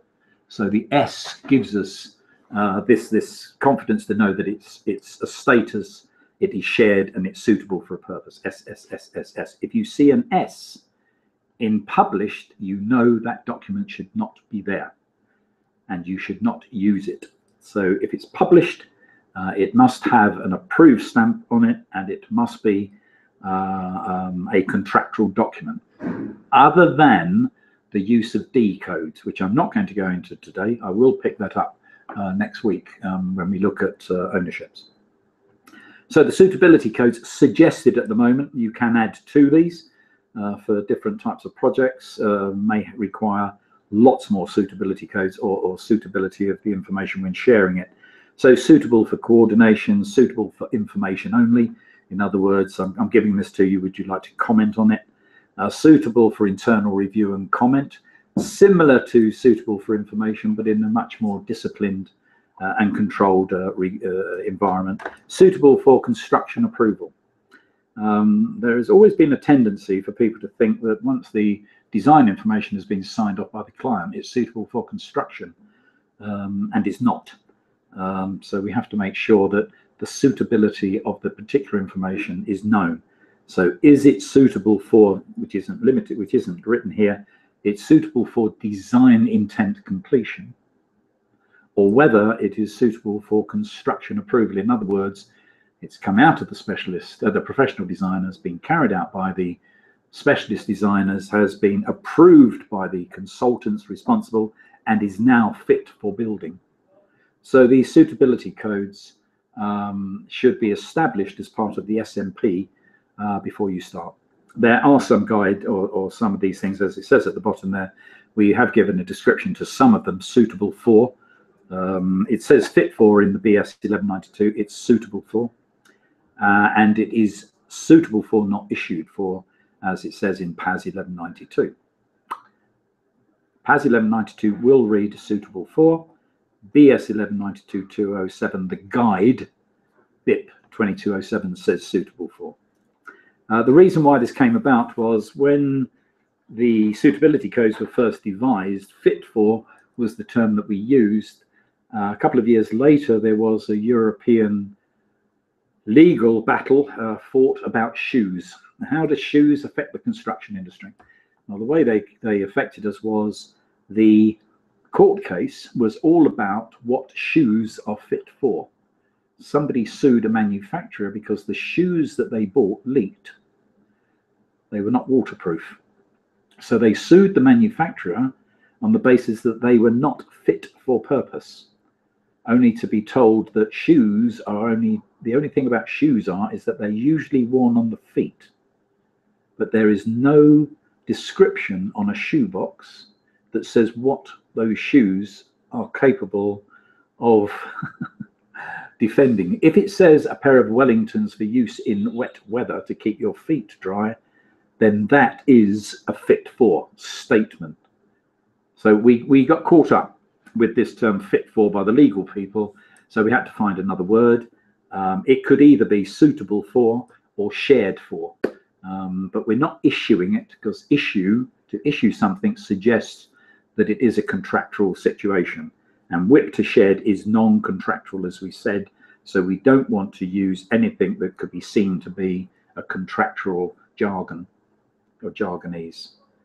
These are being updated at the moment as we move these documents to international standards. Uh, so this will all be sorted out over the, the coming months. But from me to you at the moment, it's suitable for in the BS, suitable for in the BIP, and suitable for in the PAS 1192 Part 2. So fit for will be updated to read suitable for. Some additional codes have been added in PAS 1192, such as S8 for clash rendition. So there should not be a change in PAS 1192, but there may be some additions, and we have put some additions in there. Stage codes have been added for the volume strategy, which is the presentation I will give you, show you next week. And the use of the suitability codes and the revision versioning codes will be demonstrated in the CDE process. It says in the next slide, but uh, in a few minutes as we go through the animated process. I can take a few questions. Yes, please do. Um, if you hand over models and data to the client, does the client need a web-based CDE to act as a home for their uh, AIM, asset information? Um, okay, this will be defined in the EIR by the client. So the client will tell you in what format you will need to deliver the information. At the moment, the standard configuration is that you will issue native format files for the models and the drawings. You will issue renditions, uh, that is clash rendition, so viewer uh, formats, IFC format, if you like. You will issue a COBie file, uh, so it's specifying that it will be in a COBie format, Excel spreadsheet, whatever. Um, so this is not up to you in the way that you deliver it. This will be up to the client to tell you how they want it delivered, and then they will use whatever technology they have available, which will obviously be commensurate with what they've asked for, or they are intending to buy the technology to reuse that information. Uh, we're not going into PAS 1192 Part 3 at the moment, um, and we haven't actually written any standards or methodology around how you update, physically update um, the AIM, other than to say that certain events in, in uh, the maintenance activity or the continued use of the project um, will trigger off new contracts, which will go through the PAS 1192 process and deliver new information into the AIM. But um, that's all I'm going to say for the moment. Uh, that's a whole another subject. But just to clarify. Later, yes. Sorry. We will discuss it later. Uh, the the part three. The, Yes, yes, we will. Um, so just to clarify that uh, for the moment, the client or the EIR should specify what formats information should be delivered to at the gate of the of the AIM PAS 1192.3. Another question. After issue for construction, does the contractor then create their own CDE? The contractor is already working in the CDE to have produced his for construction model with his specialist subcontractors. Uh, so the, the, common data environment runs right throughout the life cycle, as I demonstrated in the first slide. If you remember, the common data environment goes throughout the total process with the blue management line going around the outside of it. So the CDE is a common data activity. However, the one used in the design construction activity may not be the same as the one used by the AIM, but it will have exactly the same functionality, yes. Uh, if no copying of file uh, is allowed, that would exclude using any extranets for the CDE? It may well do. Um, if that is the only means that you have available, then you must have very strict role, rules on how information is transmitted to others. And more importantly, if they use those model files to generate information which they're sending back to you, you will have to generate some very strict rules on how you test those models for acceptance back into your own common data environment. So this is about a disciplined activity to make sure that the information uh, stays pure, shall we say. So whatever process you're using, you must develop your SMPs to cater for that particular requirement. The best environment is when everybody is working within the same common data environment. Is that it? Yeah. Okay. You, you're getting tired out there. I know the questions are, are slowing down. so the uh, information management system, as we said, is this common data environment. Uh, so we need a file management system uh, to manage those, the, those processes, and they are extended, by the way. I'll show you some other diagrams in a moment. So at the core, you have a common data environment that manage all of the file management, which includes models, drawings, data, COBie files, documents, anything uh, that is to do with the information delivery or the information requirements of the project itself. That will be attached, we think is the best way of going to it, to some external databases. So everything within the model including documents and other stuff, should have a relational connection to objects, to documents, to uh, to information files, etc., through unique IDs. Why do we recommend this? Well, part of the problem with BIM as it's sold at the moment as a CAD-based system producing 3D models is it doesn't allow other agencies, that is other people and other disciplines and other uh, roles that are working on the project to input information or to develop it, or to modify it. So I'm talking about procurers, planners, uh, people like this. Even even uh, uh, it will get attached to the back office eventually in paying bills and stuff like that. So we need an environment where those people that have always been in in the position of generating information other than a 3D model need access to the information to to manipulate it. Uh, there, there's, there's there is a tendency in the way that BIM is sold through 3D modeling that the BIM operator or the CAD operator, whatever he may be, um, is the only means of accessing information in that environment. That cannot be. And the reason is this if you have a look at the total data generated in a project, less than 5% of that information will be graphically represented. Maintenance information, calculations. So we have calculation schedules. Um, how are we going to maintain this? How are we going to run it? Simulations. Uh, those simulations may be environmentally uh, environmental simulations. They may be architectural uh, analysis requirements that are not necessarily carried out inside the 3D model, but in some other data form sitting outside it. So we do see in the center a file management system, but we also see a database uh, system attached to this where all other information is held. So the model itself is as light as possible and would really only contain information that modifies the graphical representation. So parameters and other things that only change the physical representation possibly of the items in the model all other information property sets uh, specifications etc would be outside the model what we also need, wrapped around all of this, is the ability to manage the collaboration of the teams themselves. And that will include an email system or a transmittal system if it's the contractor. So there must be a total IT management capability in, in certainly on the medium to larger projects to manage all of this information for the total project requirements, sending instructions, receiving instructions, costings, ordering whatever. So the CDE in the end of the day will be quite big and BIM will encompass all of our business activities. So in the build up to this, we've mentioned some products. So I'll mention it because it's been mentioned. Uh, you may have in the center there ProjectWise. Uh, uh, ProjectWise allows you to certainly link into an external database through EB. Uh, you can do similar sorts of things with, with uh, let's say, 4Projects linked to uh, an external database. Uh, and there are lots of other products that have been used in this way.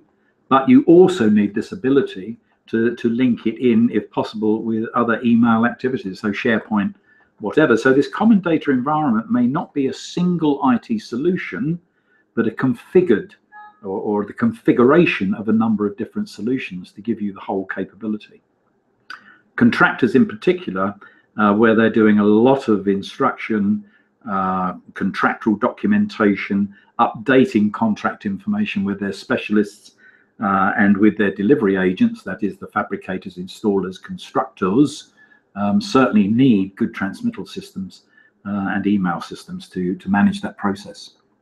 So don't just think of this in the terms of one small office developing some design. This is about managing the whole project. However, at the, at the other end of the scale, in those offices and on those projects where that sort of capability is not necessarily needed, I have actually seen, and this is uh, a demonstration from a friend of mine, um, and he has tried to demonstrate how you can do this using the drawing issue sheet. That is for anybody that actually remembers what a drawing issue sheet looks like. Um, I have been into a number of small practices recently where even the use of a drawing issue sheet is not used. Uh, they just issue things out through the email and really don't have any um, audit trail of what's been sent out to whom uh, at any given time. And that is obviously quite dangerous. So what does this look like? Well, if we look at the, and this is a British standard, by the way, this uh, typical drawing issue sheet, it's actually broken down into a number of items which matches the common data environment and the TIDP as it happens. So first of all, we have uh, a description. What is our model? It's a basement model, it's a ground floor model, it's a basement drawing, sheet one of two, two of two, etc.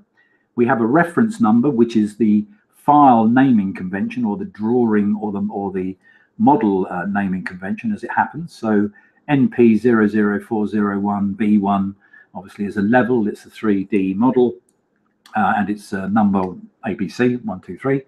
We also have the amendments in terms of this is shared information. So we have the P1s, P2s, P3s, P4s, P5s, etc. Or we have C, it's now a contractual document. So this is moving through time. So here we have the title of the drawing or the model, the file name, and then the different releases of information through the shared activity down to the publishing of information in the Cs, and then the completion of the information updated as the as-built or construction record. At the bottom of each one of these amendments, there is actually a statement of purpose. So it's S1 for coordination, S2 for information, S3 for review, etc., etc., etc. So we have replicated on this drawing sheet all of the processes in the CDE, which hopefully gives you an idea that the common data environment is nothing new. It was the common data environment that actually replicated the issue sheet, not the other way around. So it was taking an old process that worked and moved it into a digital world. So suitability codes as a purpose of issue.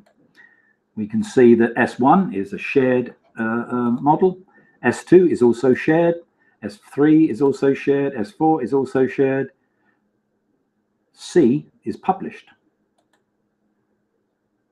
AB is published information. AB is published information into the archive. That is what's going to be delivered at the end of the day. So once again, the suitability codes and purposes match the common data environment and the movement and the tracking of information as an audit trail. So even on a piece of paper in a small office, you can still do this and manage your project uh, in, a, in a very disciplined way. Okay, so we come to the last, not quite the last bit, but uh, looking how does this common data environment, what does it look like when it's in progress? So what we have is the blue work in progress on the right hand side, this one here, you can see my arrow, the check and review box and the shared environment, and then the review and authorization from the client into the published area, the archive uh, sitting here. The other black box is whose responsibility is it at any stage, and these boxes over here will uh, show us who the information author may be. So let's start off. We have preloaded the common data environment from the TIDPs with all of the models and documents that are going to be generated through the project. So the author of information, task team eight, sorry, something's happened here to the links. Oh, sorry, the colors. Sorry, it uh, looks as if it's got itself confused. I'll carry on anyway. It reads at the bottom here, task team information, task team A produces some information and they place on this sorry I'm, what I'm going to have to do is take this down for the moment and get you another version uh, so that I can demonstrate this properly. So if you would bear with me for a few moments, um, something's happened in the transfer of this uh, uh, this demonstration. So another one, yes. Uh, if you give me a few minutes, we'll transfer another version of this.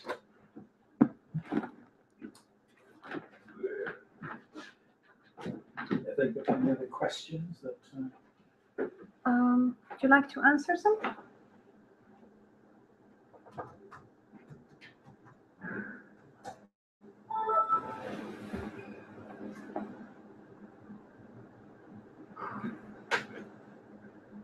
Just a couple of minutes, guys. We'll be back with you in a minute.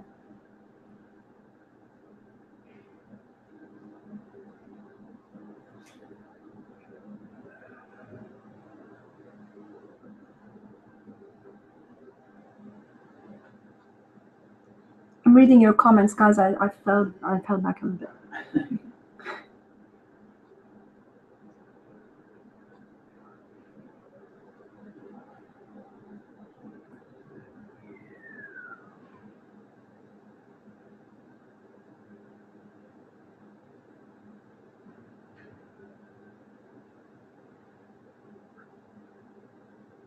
ah, it's okay.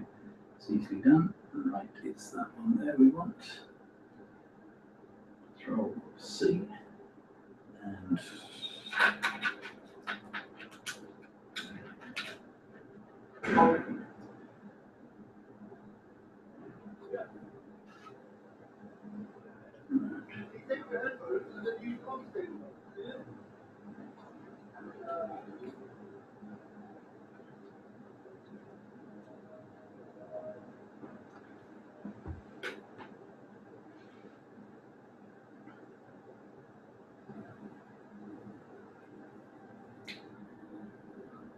Okay.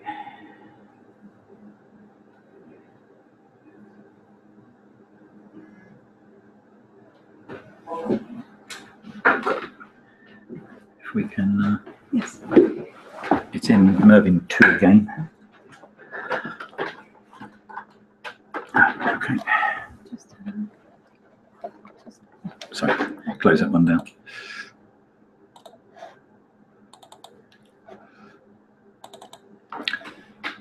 Mervyn 2, and it's the animation.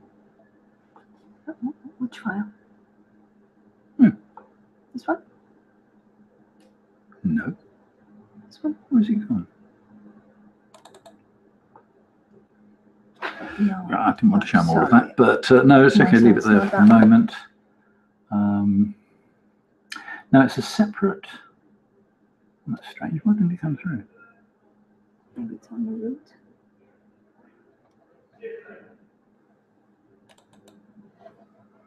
Did it fall in somewhere else?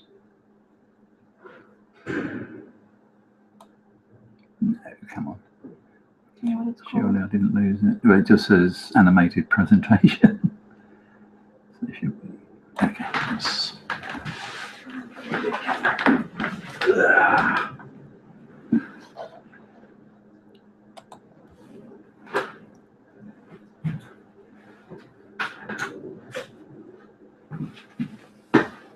Sorry about this, guys. You with you. My apologies. Technology.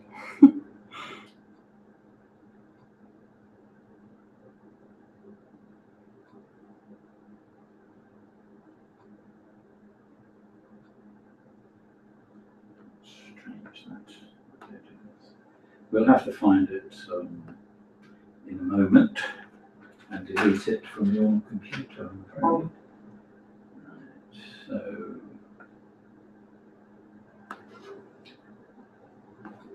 Okay, M2.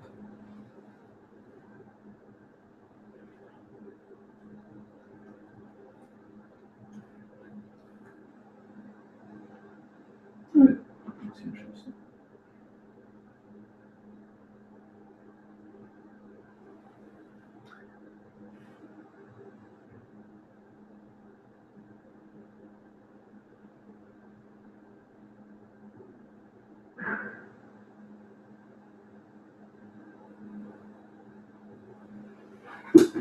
I'll leave that. Um, okay.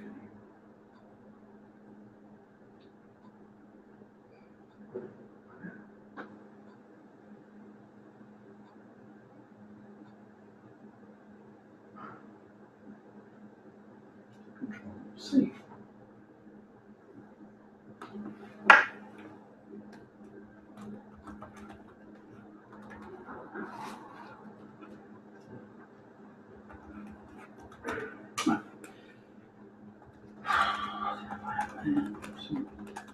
It's okay, we've got it now.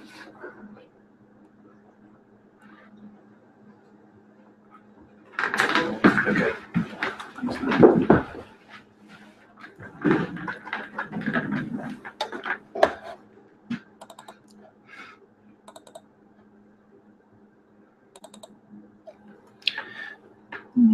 Yep. This one? That's one. Okay. Very quickly, Banti just happens to be another company of mine uh, that produces educational material. Um, okay, let's start again. So once again, in the blue area, we have work in progress, the check, review and approve, uh, the shared area, uh, review and authorize uh, looking at the client, the published area, the archive, And over on the left-hand side here, you will see the different information manager uh, or information author roles as we go through the delivery. We've already pre-populated the, the common data environment with all of the uh, model files, drawings, etc. that's going to be produced for the project. That's part of the TIDP. And so task team A, whoever that may be, architect in this particular instance, the information author uh, opens up a model file and produces the work uh, or the model or the, the federated model that they're, they're going to produce. In this case, we've got four stories. There are actually one, two, three, four, five, six different models making up this. Never mind that. And sorry, if we just backpedal that just one time. And over here, you will see that we have a revision 1.1.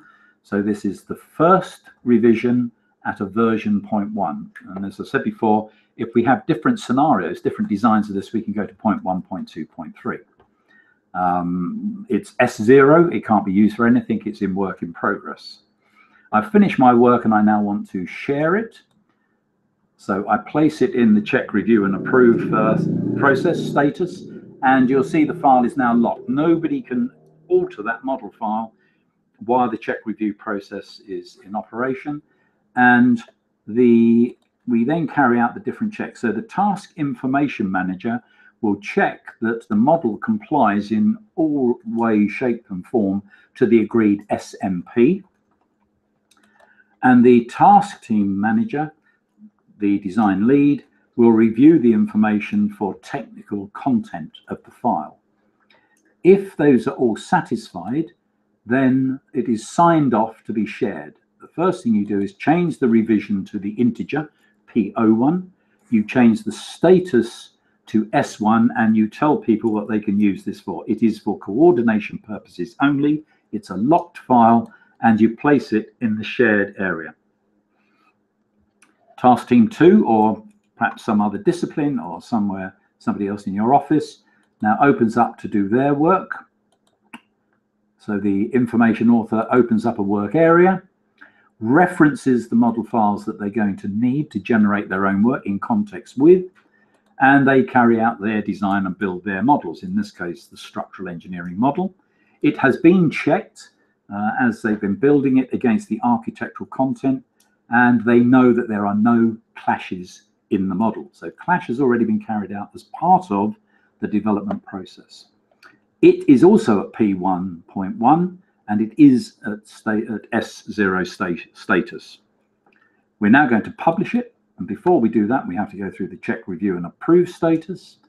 Once again, the task information manager will check it against the SMP. The task team manager or the responsible manager discipline will check it for technical content. And if everything's okay, we'll change the revision, or say you may change the revision to the integer. The status will change to what you can use it for. It's for coordination, and we push it into the, we make it available, we open it up for people to see. Those people on the security list that can have a look at this information, it is now viewable by them. Task team C uh, starts their work pre predefined in the uh, from the TIDP in in the CDE. The information um, author opens up the file that he's going to produce his information in, references in the information they require, which may be both the architectural and the structural, and carries out the design and development work for that particular discipline. In this case, uh, the the uh, mechanical and electrical. Don't worry about the foundation at the bottom just happens to be the model we were using to demonstrate this at the time, and places it in the check, review, and approve process area. P101 S0 still. TIM checks it against the SMP. Task team manager checks for technical content. If everything's okay, the revision is cut back to the, to the integer P01 and the status moves to S1 for coordination. We now have all of the information required for that particular task, this uh, vertical circulation model, um, all of the different components of the federated model have now been made available. So what do we do now? We know they're all check free or clash free, but we may want to make some changes. So the architect says, well, actually, I, need to make a change to my original model. So the information author, architect, makes some changes to the model in referencing, sorry, and should have referenced, thank you, uh, references in the files that they require to check uh, their changes against. They don't want to change it and it's going to clash with something other than, if it does clash with something, then they have to go through a discussion, a collaborative process to see whether this is acceptable. Let's say it has been completed, nobody else needs to know. We're going to put this up now for uh, check, review and approve. We go through the SMP checks with the TIM. We go through the design check with the task team manager and we find there is something wrong. It cannot pass the check, review and approve. So back to work in progress. You'll notice now that we've increased, uh, or we will increase, sorry, the, re, the version to 0.2 because we had already put it into the check review and approve as, as one version one. It was still revision two. So it's indexed up from what is in the last shared. So it's moved from 01 to 02. And we issued, we put it into the check review and approve area as version one. It didn't pass the test, so it's had to go back for some rework. So it goes to 2.2. Changes are made to it.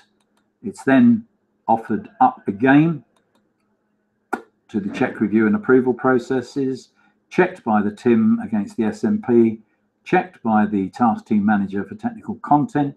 Everything is now okay. The revision changes to two and the status goes back to S1. and it replaces or updates that model file in shared area. However, in the archive, as you can see, a record of that transaction is replicated in as an audit trail in the archive.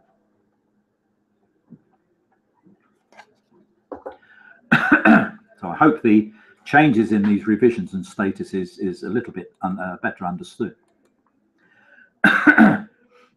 it may be that we've now completed uh, all of the requirements for the different disciplines to complete the stage, whatever that stage is.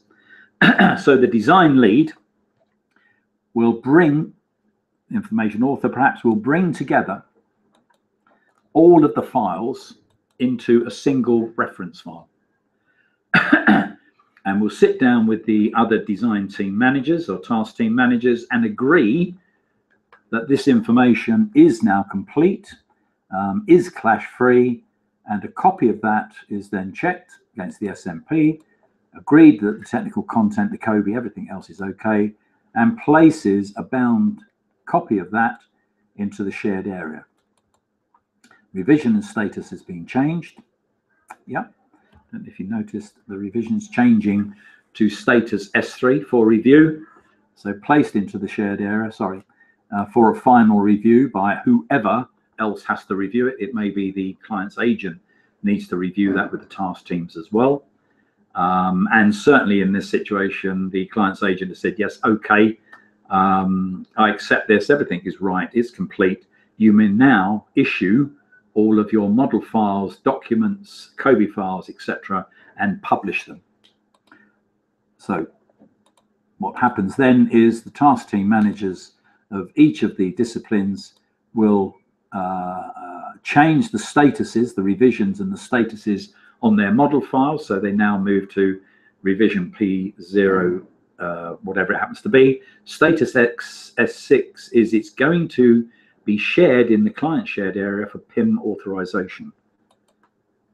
So if they pass uh, the PIM authorization stage, we will then get authorization. It's now been authorized as complete. So the employer's uh, agent or, or, the, the uh, client's representative will say, I've reviewed them, I've authorized them, they were complete as you stated uh, in your review. You can now change the revision. Once again, check against the SMP as a final check. Make sure the technical content's okay. You may now change the revision to a, a contract document, so C01, and the status now is authorized for stage three de deliverable. A3 just means authorized at stage three. If it's authorized at stage four, it will be A4, etc., etc. And the information is then moved into the published area.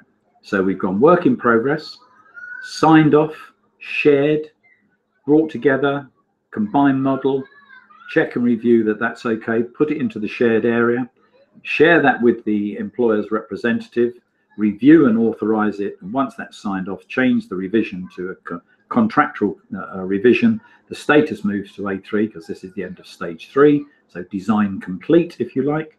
Uh, and that is then published for other use to the design, to the contractor to go out and employ his specialist subcontractors and then go through this process again. As you will note in the archive, a full record of all of the preliminary sharing and all of the contractual publishing is recorded in the archive. So we have a full audit trail of all of the transactions and all of the decisions uh, that were carried out through this common data environment process. So that's how it works. Okay. So if we go back to the. It's at the bottom. It's open at the bottom. Sorry. Oh, sorry. Thank you. My eyes didn't down that far. So if we now move on. Thank you. So if we have a look at this, um, what the CDE is doing is trying to remove some of these barriers for collaboration. I don't want to share my models, somebody may change them. Well, the common data um, allows you to archive and audit uh, what happens to your model files once you share it. So you have control over it. So I don't want to share it, someone may change it. Well, if they do, we can tell you that they've done it uh, and, and we can recover that situation. I don't want to use other people's model files. They're usually incorrect. Well, the check, the SMP, along with the check review and sign off process, and that is a process agreed by everybody, says that if you complete this check review and sign off using these standards, methods and procedures, then it will be as correct as it can be. I am not negligent, and therefore I don't want to use other people's model files is removed. Other people or companies will use my information for a purpose that I have no control over. Well, you can state what that information is suitable for. It's the owner that does that. The person that generated the information states what the suitability is. And as long as that suitability stays on the digital file, then it can only be used for that purpose. If somebody uses it for some other purpose, then we can track it and we can know uh, who, who's done that uh, and where. Other people steal my object libraries. Well, this is a big problem where people invest in object libraries. Um, obviously, if they use those to build their model files, if they share those objects, uh, objects within that uh, model file, then it is possible for people to download those object libraries. If you have data external to the object library, on the other hand, only the graphical representation will be shared and the information that would normally be attached to that will still be sitting in your own in-house database. You are not sharing the information that's attached to your object libraries other than the information that is requested by the by the COBie file, which is a contractual condition. So other people cannot steal your object libraries, or if you think they have, through the audit trail and also through the uh, project uh, um, protocol, which also sets up a licensing activity as a contract that people cannot steal your object libraries. We can track and make sure that doesn't happen. This is this is an interesting problem because if you issue a drawing to somebody, in a paper form, as we did years ago, and they reused it for some purpose. Uh, let's say it's a house design, and they went out and built, got somebody else to build it from your your drawings, then you would normally be covered by your normal contractual conditions. And if you found out about that, then you would sue them. There is no difference in the analog methodology and the digital um, methodology. However, in the digital methodology with the common data environment, we can track and audit it. And so we can unblock these barriers. Oops. Yep, I'm trying to get. okay, so understand what are our learning objectives for this afternoon's module? The understand the collaborative procedure within the common data environment. I hope we've achieved that. Understand the suitability code procedure, understand the revision and versioning, understand the sign-off procedures for publication, and understand the importance of the archive. Other learning outcomes uh, really are also to understand how this tracks and audits your processes and gives you the confidence that you can work in a collaborative environment without losing control uh, over your information or that it will be misused by others. And that's what these processes, these procedures, status codes and revisions uh, help us to do. So I hope we've covered uh, most of the questions uh, about the common data environment. If you still have questions, questions, that's okay. then we can go through them now. Yeah. Oh, you have some more. Good. Uh, one question was about the different software that can be used as a common data environment.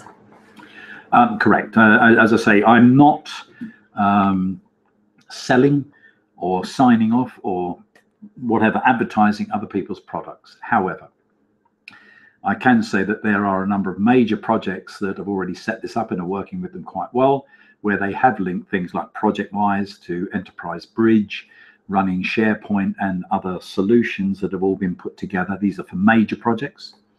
On smaller projects, uh, um, uh, we have uh, BIW, we have 4Projects, uh, we have Business Collaborator, have all set up common data environments with varying uh, capabilities. Um, they're not all fully capable, I have to say.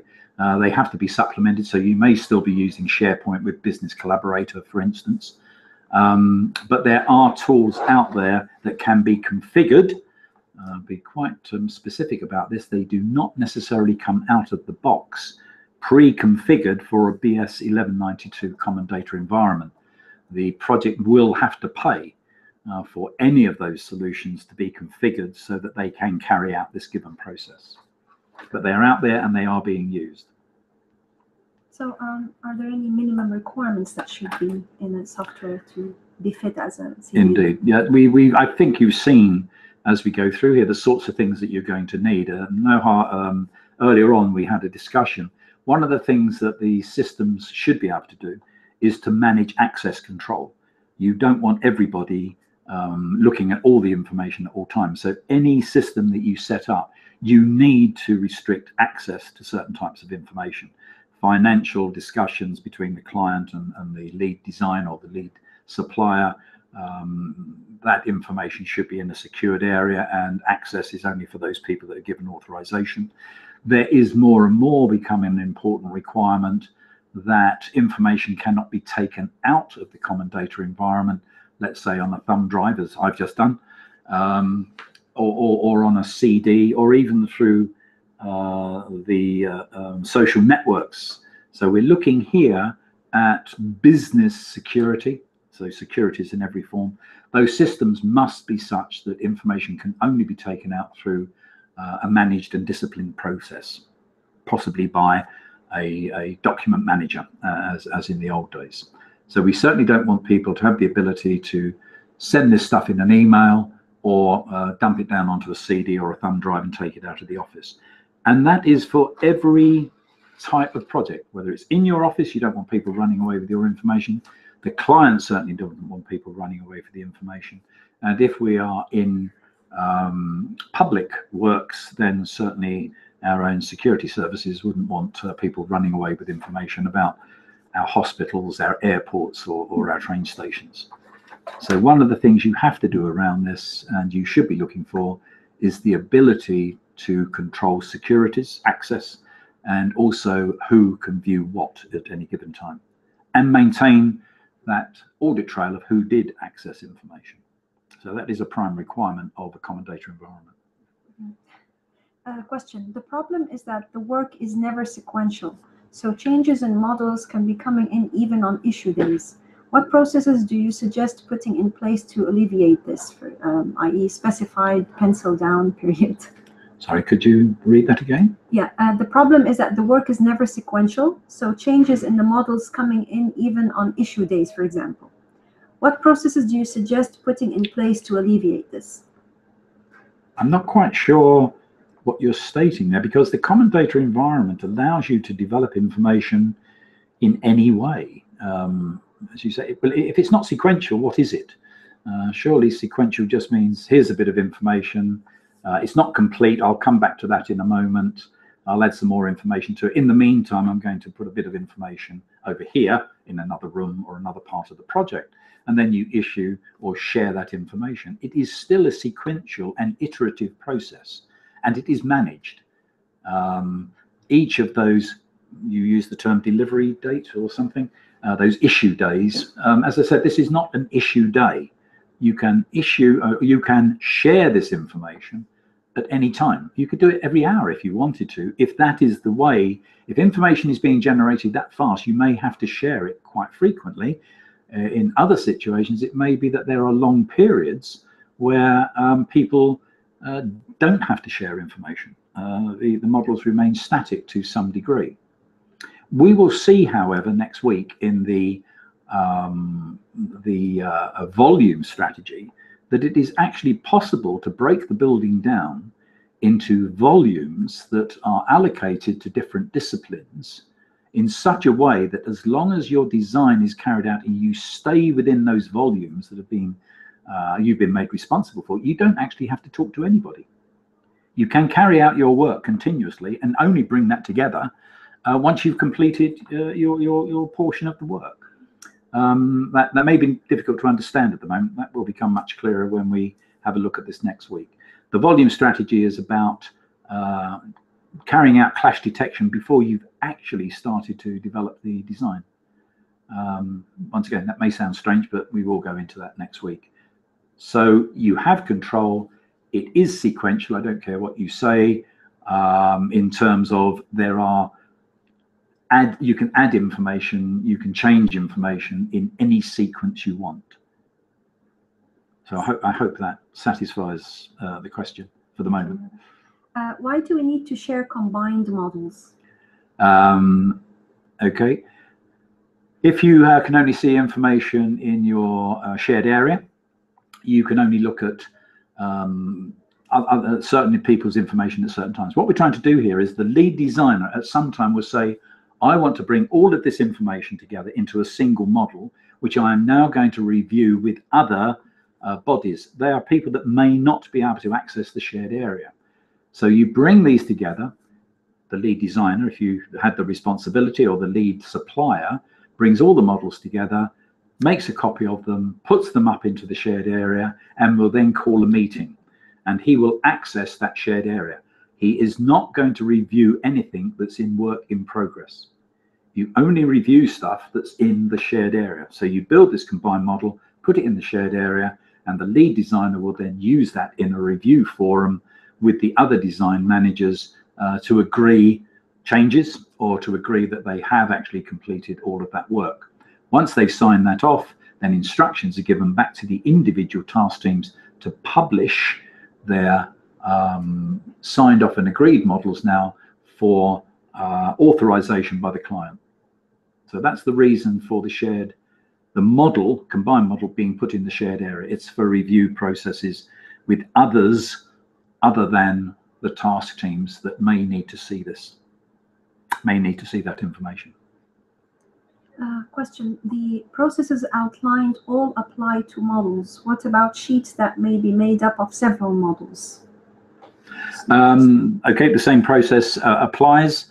Um, as I said, once you, if you want to produce a drawing, a sheet, uh, I think you may be referring to something else, and uh, you need to bring in or, or, reference into your work in progress area the models. You can only produce drawings, cut drawings, from models that have been signed off and shared. You're not going to cut them uh, from uh, work in progress. There, there are certain situations under which you can do that.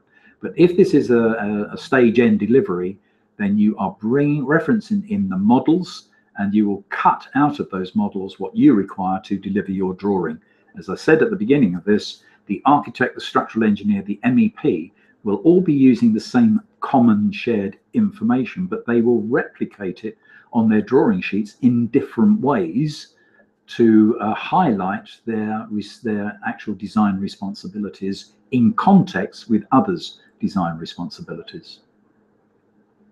I mean, so the process applies to anything, whether so the process in the drawings, you would yeah. cut the drawings, you would check it against the SMP, you would check the technical content.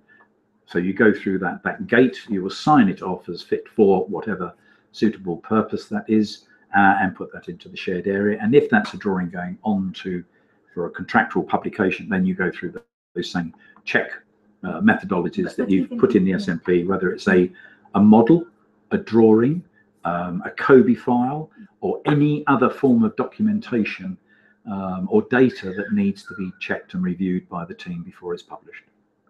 Same processes for all types of delivery. Um, question, sorry, it's gone. I lost it. Um, Somebody removed it. I just read them so fast. Uh, how can we extract information from the models and keep them separate? A lot of information is in the form of parameters. Are you suggesting these are exported and then re-imported when it comes to revising the model? Not quite sure what you think is understanding here because the model produced in work in progress never leaves the work in progress area. A copy of it is moved to shared. So you don't re-import a shared model and change it. It stays where it is. You're still working in your work in progress model um, until the next snapshot. So the shared model is a snapshot in time. So you're not exporting and re-importing. What's happening in the work in progress is a continual operation and snapshots of what you're doing are issued or, or shared at certain times. Uh, a single model may contain several sheets that have different revisions and statuses, stati, etc. Once again, you're talking about a particular piece of software which used in that configuration is almost impossible to manage through a common data environment. Um, I have just been on a project where uh, that is being used and unfortunately what we've had to do to manage the delivery properly is to use that particular piece of software as individual files with individual models that are not filed back to a central model. They are still handled as individual model files. So there, there will be restrictions um, if on certain types of BIM software. I think that's the way I will put it for the moment. Mm. Yes. Thank you very much, Mervyn. These are Okay. the questions. Thanks very much indeed. Thank you, everybody. Um, do you have any other questions? Again, the delay. One minute. I think I write it.